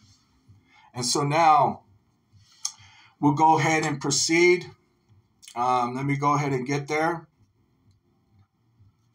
We're going to go ahead and proceed with uh, with the blessing uh, after Torah blessing, the blessing after reading the Torah, and then we'll go ahead and start with the Haftorah, the prophet portion. Okay, so let me go ahead and get there. You know what? Let me go ahead and touch a little bit. Uh, I mentioned I was going to be mentioning a leper okay the leper okay? And so this is just amazing. It's not going to be too long before we exit uh, the torah portion uh, the um, the um, the torah portion. And we're going to go ahead and add this in here uh, because there's so much. There is so much um, and so it's just a couple scriptures here about leprosy okay? And um, and so let me go ahead and get to that scripture here Amen and amen. Amen and amen. And, and so we take uh, the statutes for cleansing the leper. This is uh, chapter, uh, let me see, let me go ahead and, and get the leprosy. Chapter 13, okay, 13. Uh, the statutes about leprosy. It says, Then Yahweh spoke to Moses and Aaron, saying, When a man has on the skin of his body a swelling or a scab, or a bright spot, and it becomes as an infection of leprosy on the skin of his body. Then he shall be brought to Aaron the priest, right? Or to one of his sons, the priest. So this also applies to the millennial kingdom. But where I'm going to go with this is just amazing. It is amazing because the Lord, when he walked on this earth, he showed us who is the Lord, who is the high priest, okay? And uh, how he can cure leprosy in just a second. Okay, he can heal our bodies. I mean, just like that. And this is going on all over the world. Miracles, healings going on. And I've been hearing about some healings going on. It's just been amazing. What I what I see through my eyes is is something. But when you see miracles happen right before your very eyes, this is I, I've been hearing about testimonies and confirmed testimonies by the power of the Holy Spirit. And it's because he's trying to show us that miracles do, do still happen and to have faith, to have faith. And so I love this uh, about the leprosy, about the leper. There's many different types of leprosy, right? That's actually a skin disease. But what I'm saying, a leper, a sinful person, an unbelieving, wicked person, they have leprosy and it's spiritually sick leprosy. And the Lord can cleanse you of your sins and make you into a new man. Clear. He can make a, a ashes. He can make a beautiful rose. He can make a beautiful, uh, from ashes, he can make a beautiful rose. And so he can cleanse you of all your leprosy, which also symbolically, it could be sin, leprosy and he can make you into a new man. He can break those chains, those bondages that you're in. And he can make you clean. Put on you clothing, white clothing, garments, clothing, linen. And he can make you into a priest, a holy priesthood. He can change your life around. I know because I was one of those. Yes, a sinner saved by his grace and his mercy. And I stand here today as a witness, as, as a testimony unto the Lord, so that he may receive all the glory and honor. Amen. And so I'm going to read you just a little bit here about the leper, and then we'll go on and we'll, we'll pray out of this. Torah portion and we'll go on to the prophet portion. And so, once again, there are so many details that go in about the statutes, the, the rules, the, the instructions, if you want to say, about leprosy, how they were to be brought to Aaron the high priest or to a priest, one of Aaron's sons, and, and the priest all the way down from those generations. And once again, this will be applied in the millennial kingdom. And so you can read all these chapters. It's like two, it's like uh, how many verses long? It's all the way to verse 59. It's 59 verses that have to do with leprosy. And so there was all these instructions every seven days to come and to see if the leprosy had went away. Seven days they would be uh, uh, confined into their rooms, confined into a room, not to come out. Okay, so if you want to go in depth about leprosy, go ahead and read all of chapter 13. And so we're going to go ahead and go to 59 of chapter 13 about this leprosy. And so, what I want to explain and what I want to share with you that all these things that were need to be done, instructions for the human priests, okay, to be done, instructions given by the Lord to be done for a man who has leprosy. I'm going to show you a scripture, a very short scripture and then we're going to say, wow, okay, so, uh, but I'm going to go to 59, chapter 13, and it says this it says, This is the law for the mark of leprosy in a garment of wool or linen, whether in the warp, okay, so in the warp or the woof. So this is an article of clothing. Okay, so there were so many different instructions, but it says this is the law, this is the instruction for it. Okay, and so we go on, and we're going to be in in uh, chapter fourteen. Uh, we're going to be reading more about the Day of Atonement. Right into chapter fourteen, it's like he go he goes in fully to the Day of Atonement in chapter sixteen, and also he continues. Uh, with the leper, the statutes for cleansing a leper, right into chapter 14. So it's actually chapter 13 and then we chap, tap chapter 14. It has a lot to do about the leper. We got two full chapters going into chapter 14. Okay, so now we go ahead and move forward. So we got two chapters, 13 and 14, that has to do with lepers, right? Lepers and other things uh, towards the end here. But the offerings and all the instructions that were given, okay, to cleanse a leper and about leprosy. Okay, so the that that being said, we go to Matthew chapter 8. Matthew chapter 8. And we read Yeshua cleanses a leper. Okay? And so we got the same things given to Aaron the priest, and we go to Matthew chapter 8, verses 1 through 4. Okay, 1 through 4. Now, when Yeshua came down from the mountain, large crowds followed him and behold, a leper came to him and was bowing down before him and said, Lord, if you are willing, you can make me clean. So, number one, it shows us that this was a believer. He knew who Yeshua was, he knew that Yeshua was healing.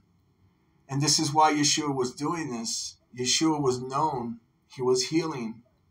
And so, this, this man that had leprosy, Remember, they would have to, they, they, they, they, were, they were considered unclean. No one would want to be around them.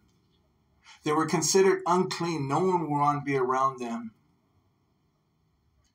And so today I see in society, I see people with leprosy, not physical leprosy like on their hands or on their bodies, but people who are spiritually sick so very much that drugs or whatever it may be, most of the times it's drugs that sucks a person's life out of them.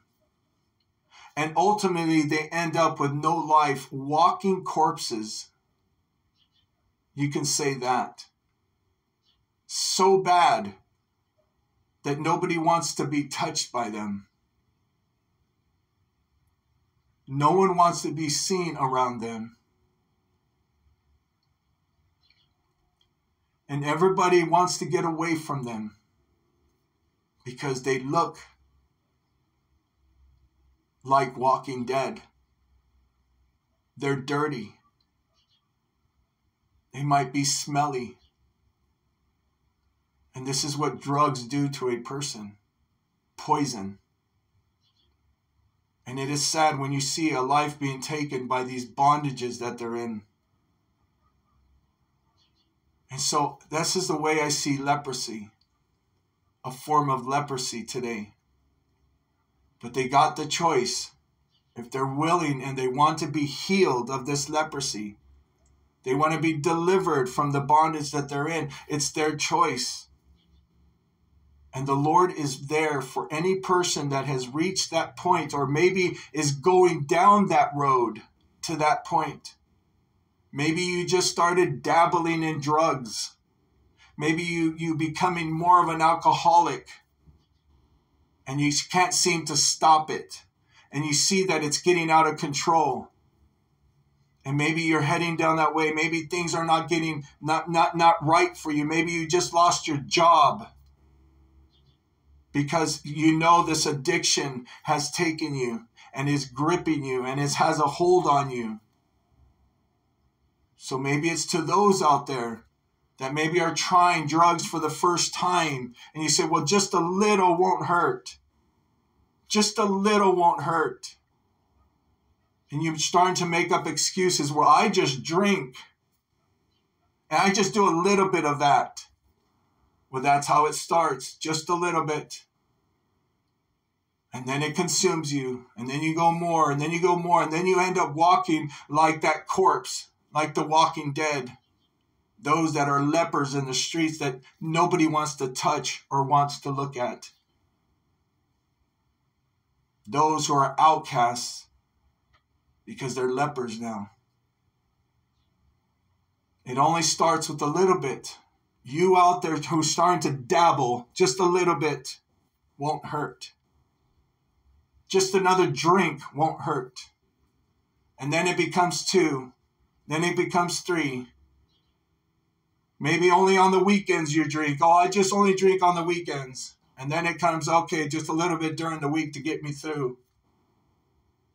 And then all of a sudden you're drinking every day. Whatever it might be.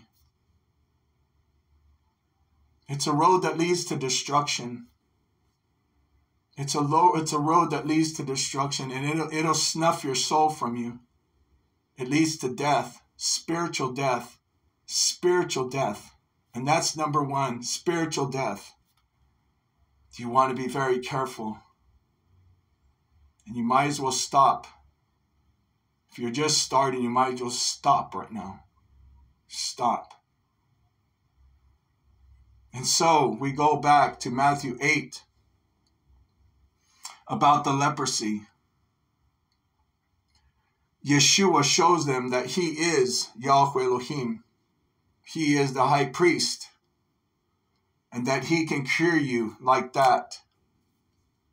He can break those bondages. He can break those chains.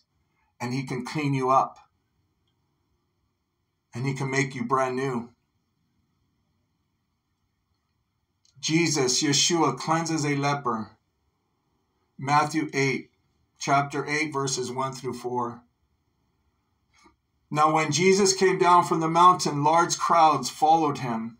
And behold, a leper came to him and was bowing down before him, bowing down before him, and said, Lord, if you are willing, you can make me clean. And Jesus stretched out his hand and touched him, saying, I am willing, be cleansed. Be cleansed. And immediately his leprosy was cleansed. Immediately. It is because this man's faith, it's because of his faith that made him clean. It's because of the grace and through faith he believed in him. He said he bowed down to him. He was humble. He was broken. He was a leper. But he was willing to be cleansed and he believed in Jesus. He believed in him. and he bowed to him. He bowed before him. And Jesus said and stretched out his hand and touched him, saying, I am willing, be cleansed. The Lord is willing. He wishes that none would perish, but that all would have everlasting life. The Lord is willing, my beloved. All you unbelievers out there, all you wicked, all you unbelievers, He is willing. He is willing. His arms are stretched out. He's like, Come to me. Unfortunately, many, many do not see until they're broken, until they're walking like one of those corpses, like the walking dead. And then they cry out when the when the enemy has sucked everything out of you. And maybe you have lost your job. Maybe you lost all your glorious belongings, your material. Maybe your broken family, maybe your wife has left you because of your problem. Unfortunately, it has to come down to that. Till finally you cry out to Him, and He's willing to accept you and cleanse you of your leprosy. So if you're out there and you hear this, and the Lord is tugging on your heart, and you're tired. You're tired because I know after all said and done, and the party is over, and the party is over, and you feel sick. Maybe, maybe you've done something you weren't supposed to do, and you feel sick and the drugs have consumed your body or the alcohol and you got a headache and you're you're suffering from a headache and you can't seem to get rid of it because you have this terrible hangover it's, it, it's insanity because then you just grab more. Let me drink another day so that it will go away. Remedies, right? Remedies so that you can continue. Or maybe you're doing some kind of drug that makes you able to drink more. So you take a little hit or whatever of a drug that makes you what? sober so that you could drink more, so you can continue to go longer. But after all said and done, you got to go to work that week. And then you're not able to go to work. Maybe sometimes you are, but sometimes you don't feel like it.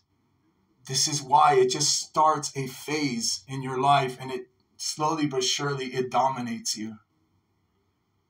Maybe you think, oh, I can handle it. I can handle it. I can handle it. Well, It'll grab a hold of you, and maybe, maybe one day you won't be able to handle it no more. And you will cry out, and He says, I am willing. I am willing. I'm right here.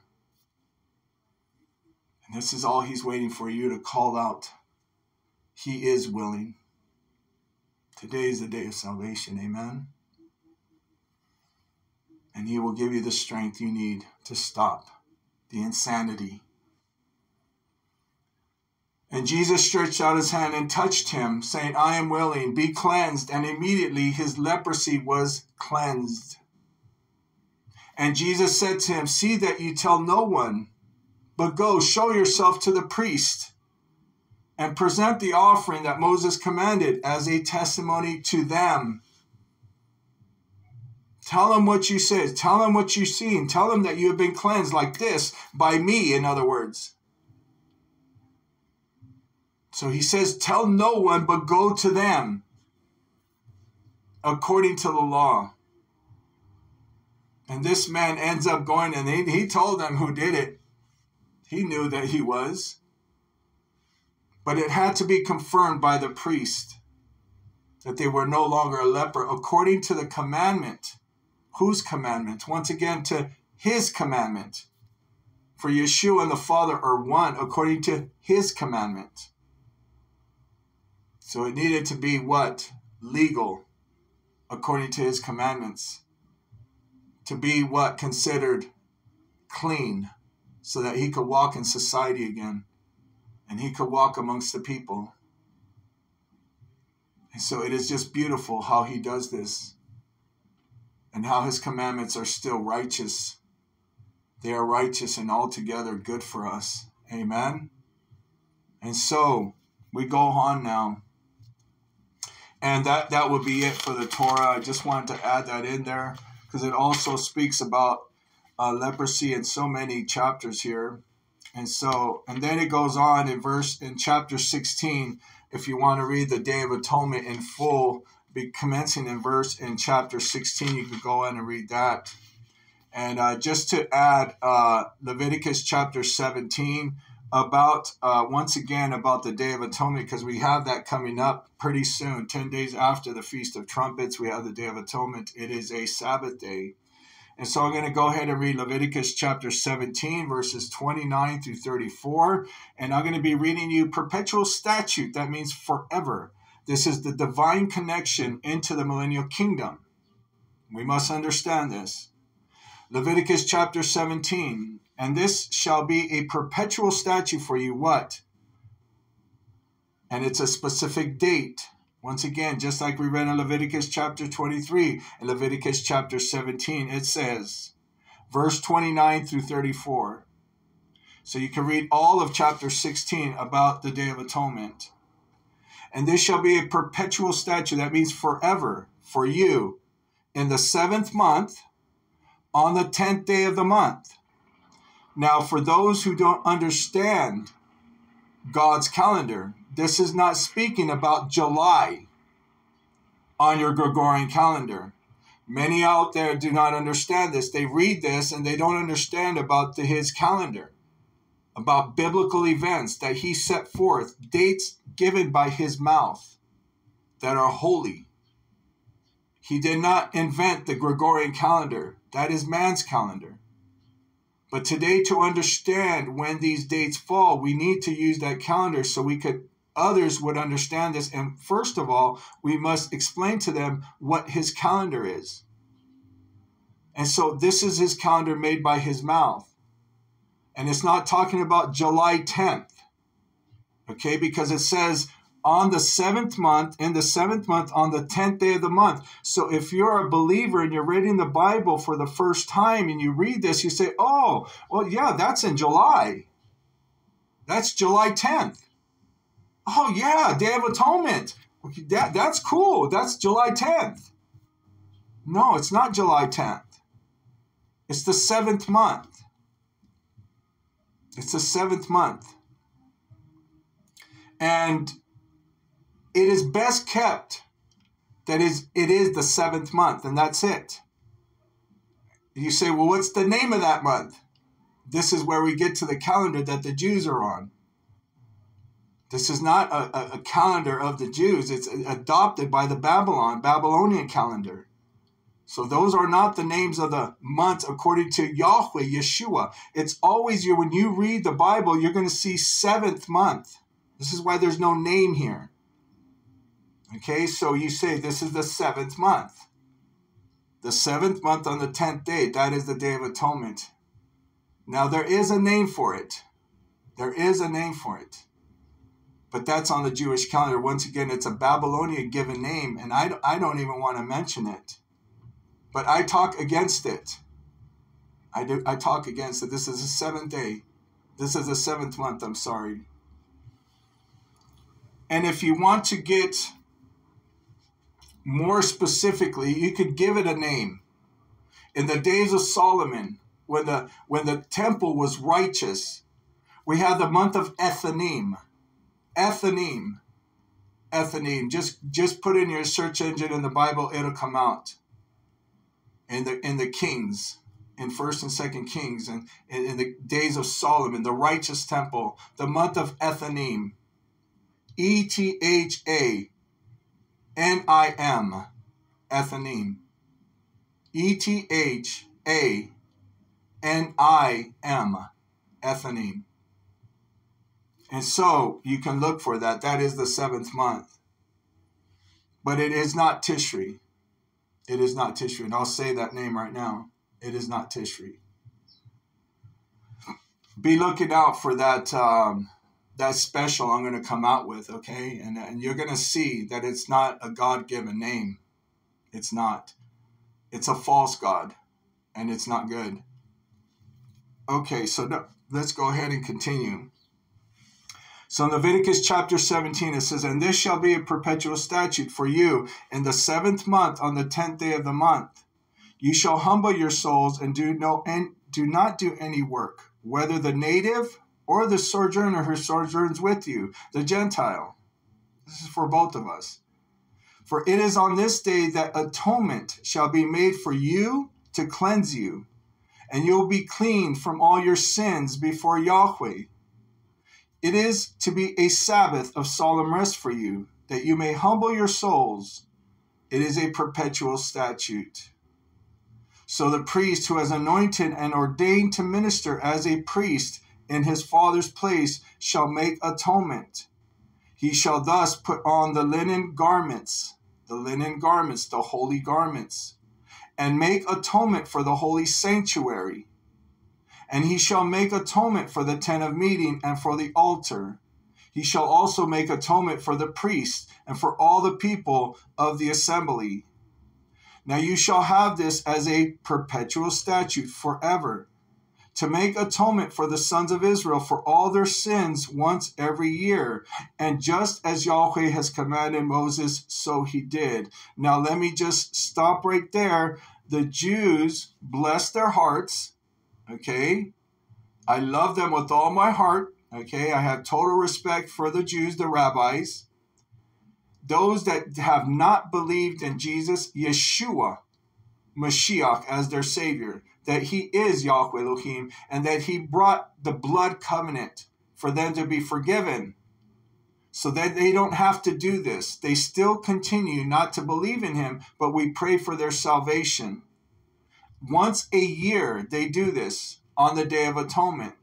So let's not confuse the two the atonement for us and for them, whoever is willing to be atoned for. And we back to the Day of Atonement because I, I, placed the Lord placed it on my heart right now to share this even further. That let, let us not confuse the two. Because they do this every year, that means we got to do this every year. We respect how they go up once a year. We respect that. But we also pray for their salvation so that their sins can be atoned for today. Today. Tomorrow. It's offered, salvation is offered to them for the atonement of their sins once and for all. Once and for all. You don't have to go up every year like they do right now. It is a big deal, a very big deal for the Jews that do not believe in Jesus, Yeshua. But we also, as believers, we celebrate this day because we celebrate it because of the, of the atoning blood of Yeshua HaMashiach. We celebrate this day. We celebrate this day as the Lord has atoned for us. He has washed us clean, and we pray that they would understand this. We never tear down, but we build up. We t- never tear down, but we build up. We love them. And they can rejoice on this day of atonement. Why? Because the Lord brought something so glorious the day of atonement. And He will. It, it says in Scripture that many of them will not believe in it until they see Him. And yes, He will have compassion and mercy, Israel's redemption, and He will forgive them and he will atone for their sins on that day when begins the millennial kingdom. But once again, they have the offering today. So when we see, as believers in Jesus Christ, Yeshua HaMashiach, we see this event coming, the day of atonement. Let us know this and consider it's a day of rejoicing for us, but also a day of sorrow because they haven't believed in Mashiach yet. So we pray for them at the same time, they are mourning. And they go once a year to be cleansed of their sins when their sins can be blotted out forever, right now, today. So we continue to bring them prayers and understand why they are there. And we pray for their salvation. For the Day of Atonement was for everyone. The saving blood, the atoning blood of Jesus, Yeshua HaMashiach. Amen. Amen and amen. So let's follow these feast days. Yes, commanded to do so. Let's follow these fall feasts, okay? And so let me go ahead and continue now. And we'll go ahead and pray out of the Torah portion, and we'll just go ahead and read through the next two portions the prophet portion and the renewed covenant. Okay? So let me go ahead and get to that screen. And uh, we'll go ahead and pray and then continue here. So, after uh, this is the blessing after the reading the Torah. It says, Baruch atah Adonai Yahweh Elohim Yeshua Eloheinu melech haolam. Blessed are you, O Lord our God, King of the universe, who has given us the Torah of truth and planted life everlasting in our midst. Baruch atah Adonai Yahweh Elohim Yeshua Notain HaTorah. Blessed are you, O Lord, giver of the Torah. Amen and amen. And so now we'll go to the prophet portion, the Haftorah blessing. It says Baruch Atah. So those who do not know or understand what Haftarah, Haftorah means, it's the prophet portion. Uh, this is the Haftorah blessing. Baruch Atah Adonai Yahweh Elohim Yeshua Eloheinu melech haolam. Those of you who do not know who Adonai or who, what title is Adonai. Adonai in the Hebrew means master. It's a title. It's not his name. It's not his name. It's a title, and it means master. Master Elohim, Master Yahweh Elohim, or Master Yeshua. They are one. Okay, and so Baruch Atah Adonai Yahweh Elohim Yeshua Eloheinu Melech Haolam. Blessed are you, O Lord our God, King of the, King of the universe. That's what it means. Who has cho- chosen good prophets and was pleased with their words, which were spoken truthfully. Baruch atah Adonai habocher neva'ai ha'emet vezedek. Blessed are you, O Lord, who chooses prophets of truth and righteousness. That's what that means, okay? And so let's go ahead and read this, and then we'll go ahead and continue. All right, so we're reading from 2 Samuel chapter 6, verses 7 through 17. Then David again gathered all the chosen men of Israel, 30,000. Then David arose and went with all the people who were with him, and from Baal Judah, to bring up from there the ark of God, of Elohim, which is called by the name, the very name of Yahweh of hosts, who is enthroned above the cherubim. And they drove the ark of Elohim on a new cart, that they might bring it from the house of Abinadab, which was on the hill and Uzzah and Ahio, Ahio, the son of Abinadab, were leading the new cart. So they brought it with the ark of God from the house of Abinadab, which was on the hill, and also Ahio was walking ahead of the ark.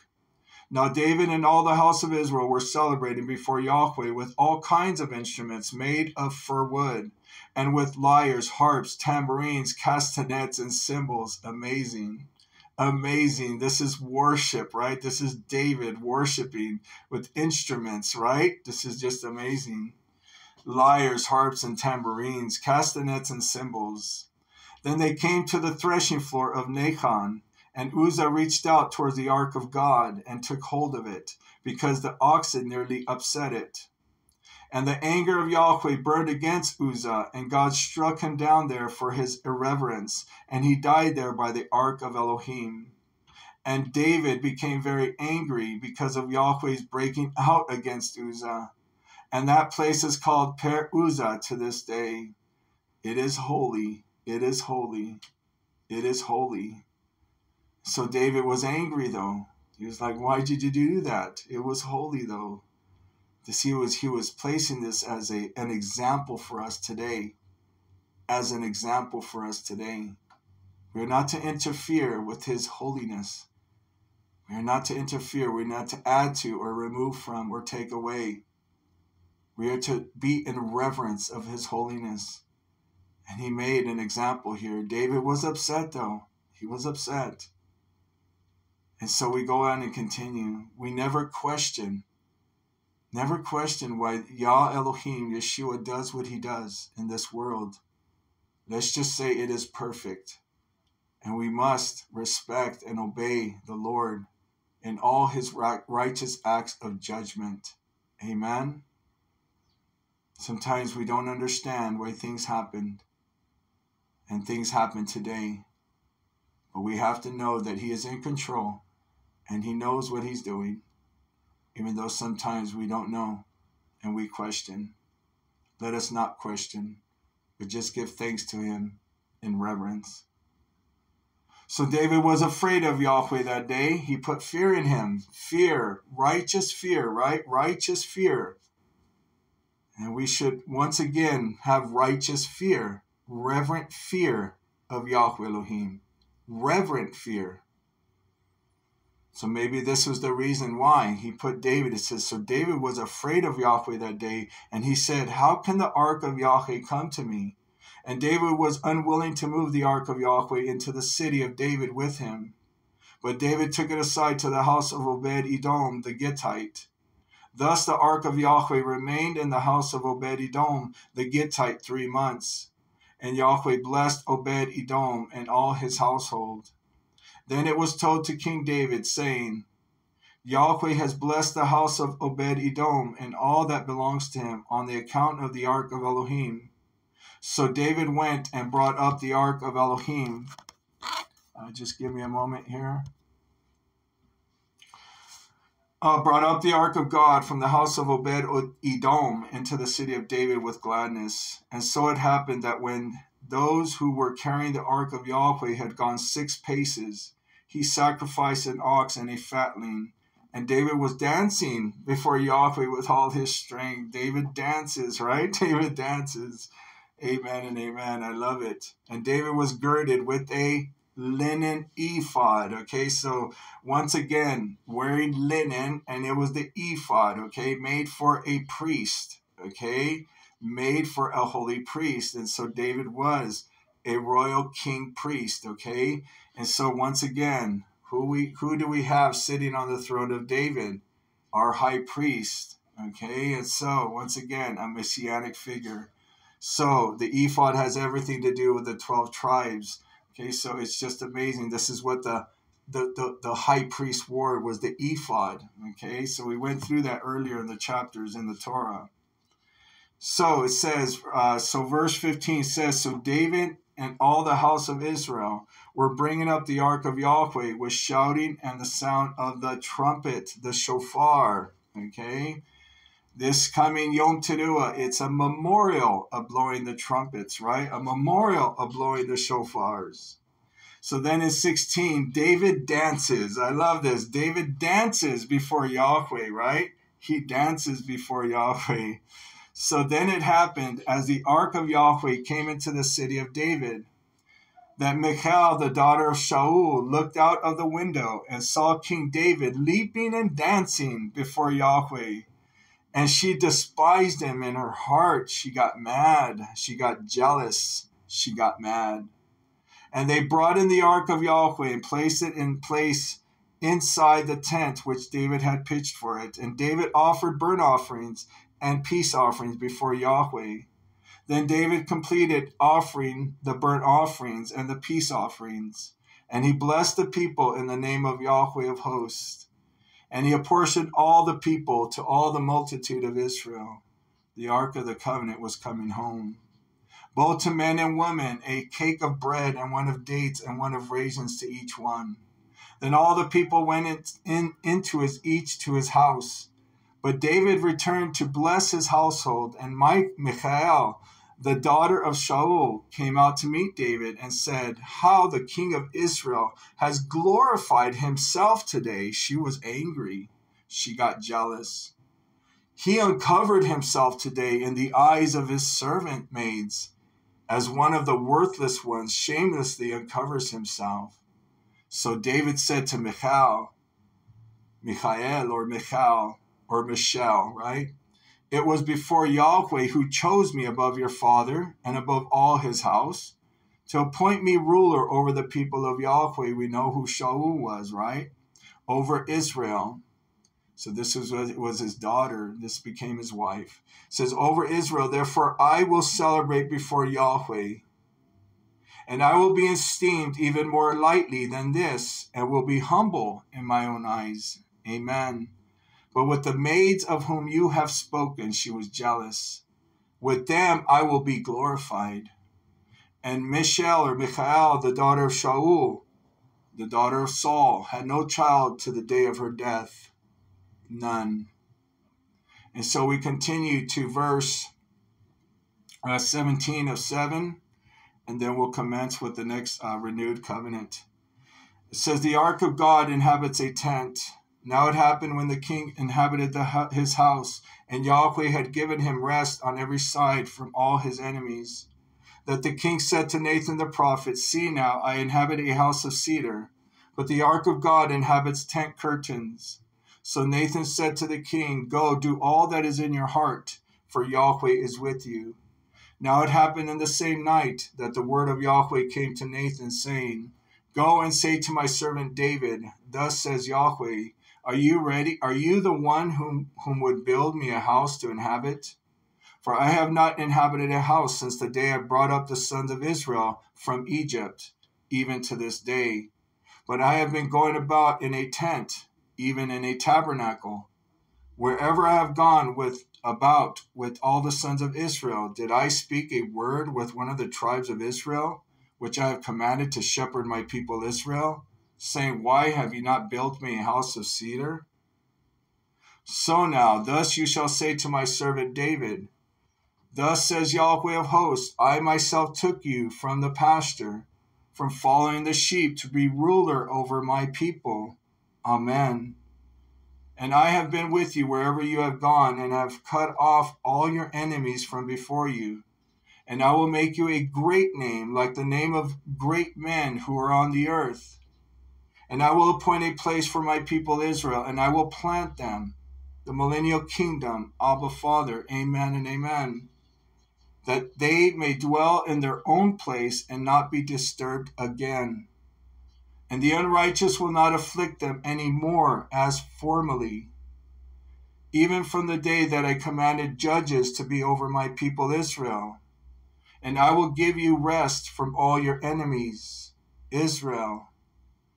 Yahweh also declares to you that Yahweh will make a house for you, his millennial kingdom, his temple, the Merkava, his sanctuary.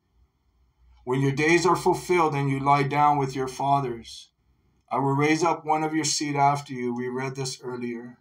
Who will come forth from your own body, and I will establish his kingdom.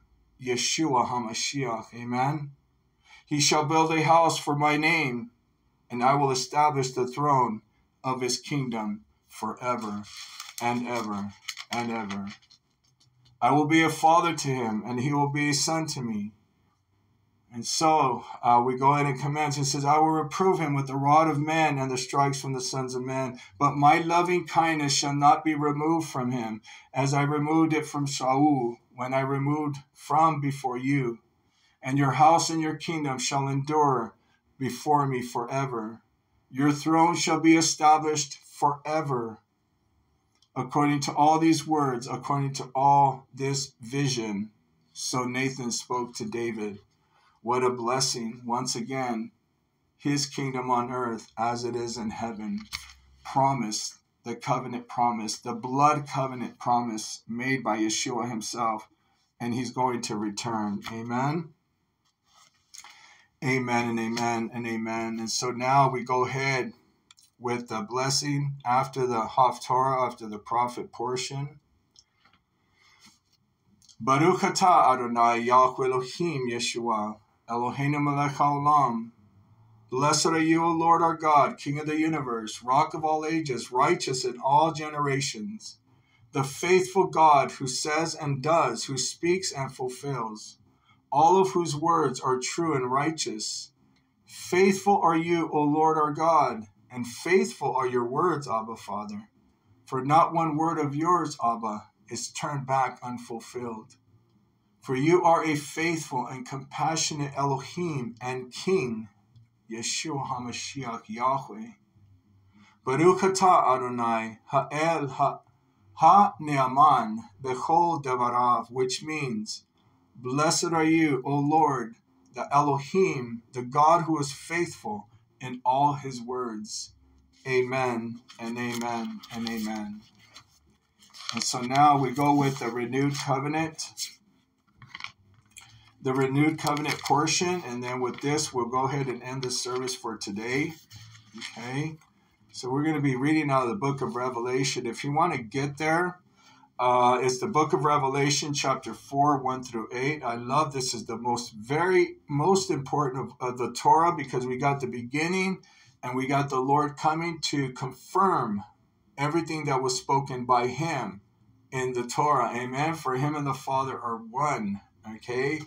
So you cannot separate the two. Okay. So he is one along with his Holy Spirit. So the new covenant blessing. Baruch atah Adonai Yahweh Elohim Yeshua Eloheinu melech haolam. Blessed are you, O Lord, our Elohim, King of the universe, who has given us Messiah Yeshua and the words of the new covenant, of the renewed covenant. Amen and amen. Baruch atah Adonai Yahweh Elohim Yeshua. Adonai notain habaret hadashah. Blessed are you, O Lord, giver of the new covenant. Barit Harashah, that's what that means, the renewed covenant. Amen. And so now we'll go ahead and read Revelation uh, chapter 4, 1 through 8. Let me just go ahead and get some water.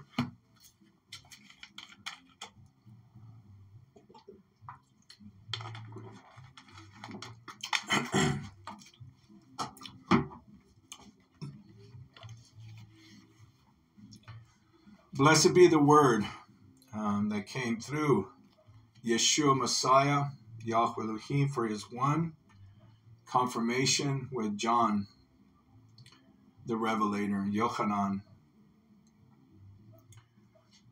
After these things, I looked. So I want to go ahead and once again tell you this is the throne in heaven, okay, that's going to be on this earth, confirmation the Merkava. Okay, the Merkava. I always like saying the Merkava now uh, because in Hebrew it is the chariot throne room, the chariot throne room of our Lord, his sanctuary in the heavens, his temple that will be here on this earth. After these things I looked, and behold, a door standing open in heaven. And the first voice which I heard like the sound of a trumpet, like the sound of a shofar, speaking with me, said, Come up here, and I will show you what must what must take place after these things. Immediately I was in the Ruach in the Spirit, and behold, a throne was standing in heaven, and one sitting on the throne. So, once again, we got to understand that he's going to be sitting on his throne here on earth, as you read in Ezekiel chapter 44. And he who was sitting was like a jasper stone and a sardius in appearance, and there was a rainbow around the throne, like an emerald in appearance. Around the throne were 24 thrones, and upon those thrones I saw 24 elders sitting clothed in white garments of linen. Of linen. This is how we know that these services take place in the heavens. Angelic messengers dressed in linen. And these are going to be our garments once again. The same garments that he gave instructions to Moses to wear as he was acting high priest and the priests, the sons of Zadok, all the way through the generations. Linen. Around the throne, so once again it says, and out from the throne, verse 5 says, and out from the throne come flashes of lightning, and sounds and peals of thunder, and there were seven lamps of fire burning before the throne, which are the seven spirits, Ruchot of Elohim, of God. And before the throne there were something like a sea of glass, like crystal. And in the center and around the throne, four living creatures full of eyes in front and behind. And the first creature was like a lion, and the second creature like a calf, and the third creature had a face like that of a man. And the fourth creature was like a flying eagle. and the four living creatures, each one of them having six wings, and are full of eyes around and within. And day and night they do not cease to say, and if you would, once again, reverberate the prophet Isaiah, confirming this through the prophet John, and John referring back to Isaiah about the throne room, the sanctuary that will be here on earth as it is in heaven. And that is commencing right now. If you would say this with me from wherever you're at, let us say, Holy, holy, holy, Kadosh, Kadosh, Kadosh is the Lord God, Yahweh Elohim, the Almighty, who was and who is and who is to come, who was and who is and who is to come. And when the living creatures give glory and honor and thanks to him who sits on the throne, to him who lives forever and ever, the 24 elders will fall down before him who sits on the throne and will worship him who lives forever and ever and will cast their crowns before the throne, saying, Worthy are you, Abba Father. Worthy are you, Abba Father. Adonai, Yahweh Elohim, Yeshua Mashiach, for you are one. Worthy are you, Father. Worthy are you, O Lord, our Elohim, to receive all glory and honor and power. For you created all things and because of you and because of your, they will exist and were created. Let me go ahead and read that once again. Worthy are you, O Lord our God, our Elohim, to receive glory and honor and power, for you created all things. Remember, and on the seventh day he rested. And because of your will, because of your will, they existed and were created because of your will, Abba Father. They exist today and were created by you. And you sanctified the Sabbath day. And you set it apart as holy for a holy people, a royal priesthood. And you set it apart for us, Abba. This day, this holy sanctified day, you set apart as holy because you willed. They existed. Everything exists everything that you have blessed us with, Abba Father. And they were created by you. And so I thought I would bring you that scripture confirming in the book of Revelation as we come to the conclusion of this service. Thank you for hanging in there if you've been listening. Thank you so very much. And so let us give thanks to the Lord on this Sabbath day of rest and just look about you as I started off this service. It's about intimacy. It's about intimacy with the Lord and what He has created. Look around you. Look at creation. Look at your children. Look at your families. Look at the jobs that He's given you, the skills that He has given you because He gave you your bodies, He gave you your brains, He gave you everything to do those things you need to do, to work. Let us give Him thanks for all these things. Because this is the first six days of creation, and this is the day that we can offer up our offerings of obedience and be obedient to His Sabbath day of rest and understand and be intimate with Him here on earth as it is in heaven. Let us be intimate with Him. Amen. Amen and amen, my beloved. So let's go ahead and pray out the blessing after the reading of the new covenant. Baruch atah Adonai Yahweh Elohim Yeshua Eloheinu melech haolam. Blessed are you, O Lord, our God, King of the universe, who has given us the word of truth and planted life everlasting in our midst. Baruch atah Adonai Yahweh Elohim Yeshua Notain Habarit Harasha. Blessed are you, O Lord, giver of the new covenant. Thank you, Yeshua HaMashiach, giver of the new covenant by your blood, the blood covenant, which comes to pass and will fully come to pass when you return to us, Abba Father. Thank you so very much. For it is a tree of life to those who take hold of it, Etz Chaim, which means tree of life. It is a tree of life to those who take hold of it. And let me just say that it started with the tree of life in Genesis, and it will end with the tree of life in the millennial kingdom in the new heavens, new earth. It is a tree of life to those who take hold of it. Let us take hold of it. And those who support it are praiseworthy. Its ways are ways of pleasantness, and all its paths are peace, they are shalom.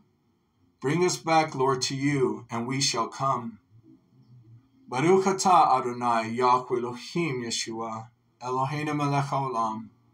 Blessed are you, O Lord, Yahweh our Elohim, Yeshua, King of the universe. Asher natan lanu hadavar hachai b'Mashiach Yeshua, who has given us the living word in Messiah Yeshua. And we all say, Amen and Amen and Amen.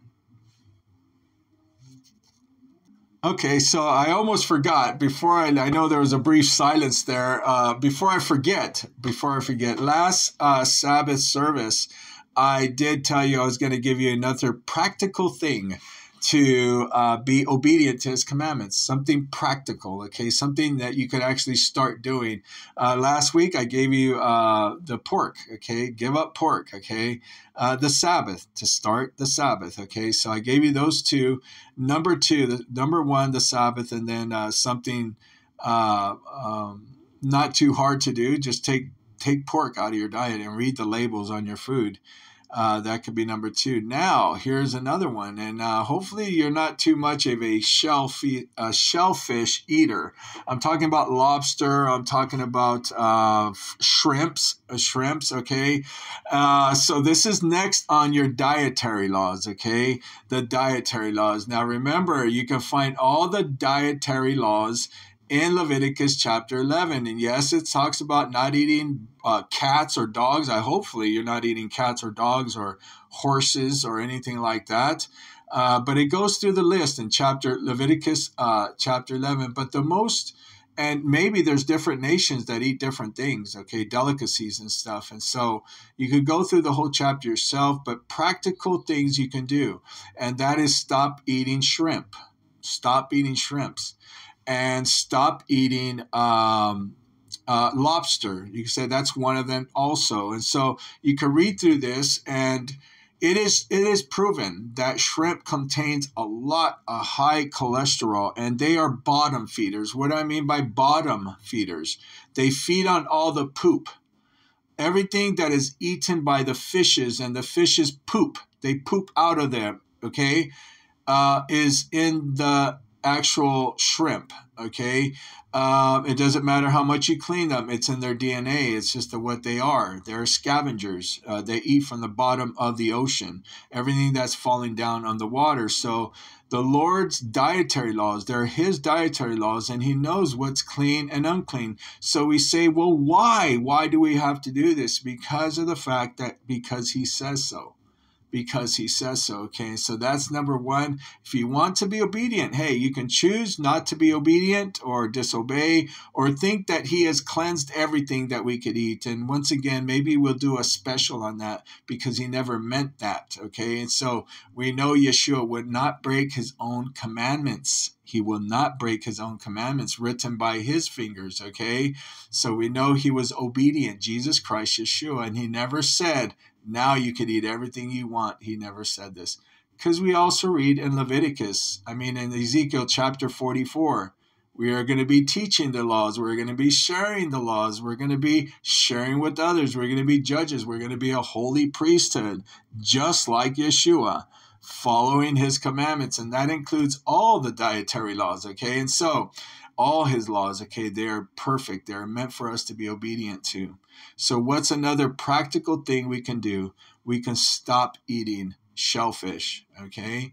Uh, anything that has to do with shellfish. So, in verse 12 of Leviticus chapter 11, it says, Whatever in the water, in the sea, in the ocean, okay, in the water, that does not have fins and scales is detestable to you. Okay? Whatever doesn't have fins and doesn't have scales is detestable to you. And so I got a little brief, a brief list, okay? And we'll go ahead and end it right now. A brief, um, a brief list I made, okay? And so I'm going to go ahead and read this to you, okay? And so um, it's a brief list from chapter 11. Uh, just really brief. Uh, you could probably find out more. Uh, fish, okay, and and and uh, and uh, shellfish, okay. If you could probably find out more, a little more research. So anything that does not have fins and scales is detestable to you. It means you cannot, you should not eat them, uh, and be obedient. These are some of the ways to be obedient to the Lord. Shellfish, okay, we went through that. The shark, the shark okay, the lobster, uh, the dolphin, okay, uh, the whale, the whale, okay, the stingrays, the rays, the hagfish, the hagfish, and the catfish. Okay, these are all things that do not have, that swim in the water in our seas and do not have fins and scales. They are detestable to you, says the voice of the Lord. And we know Yahweh Yeshua is one, says the voice of Yeshua, Yahweh Elohim, for he is one. Okay, so this is the voice of Elohim, for he is the one that gave us these commandments. Okay, and so that is another practical thing you can do to start being obedient to the Lord's commandments. Okay, and he will honor you and he will bless you when you please the Father. Okay, and so with that, I go ahead and end this for today. Um, and so, yes, uh, you'll hear from me again next Sabbath. Uh, hopefully, remember to keep me in prayers um, and to share these services with others, okay? Let's please the Father together in love, okay? In love. And uh, pray for each other, okay? So let us let us uh, continue to be obedient children in His house, Amen. Okay, so I'll see you, or you'll hear from me next week, okay? Goodbye for now.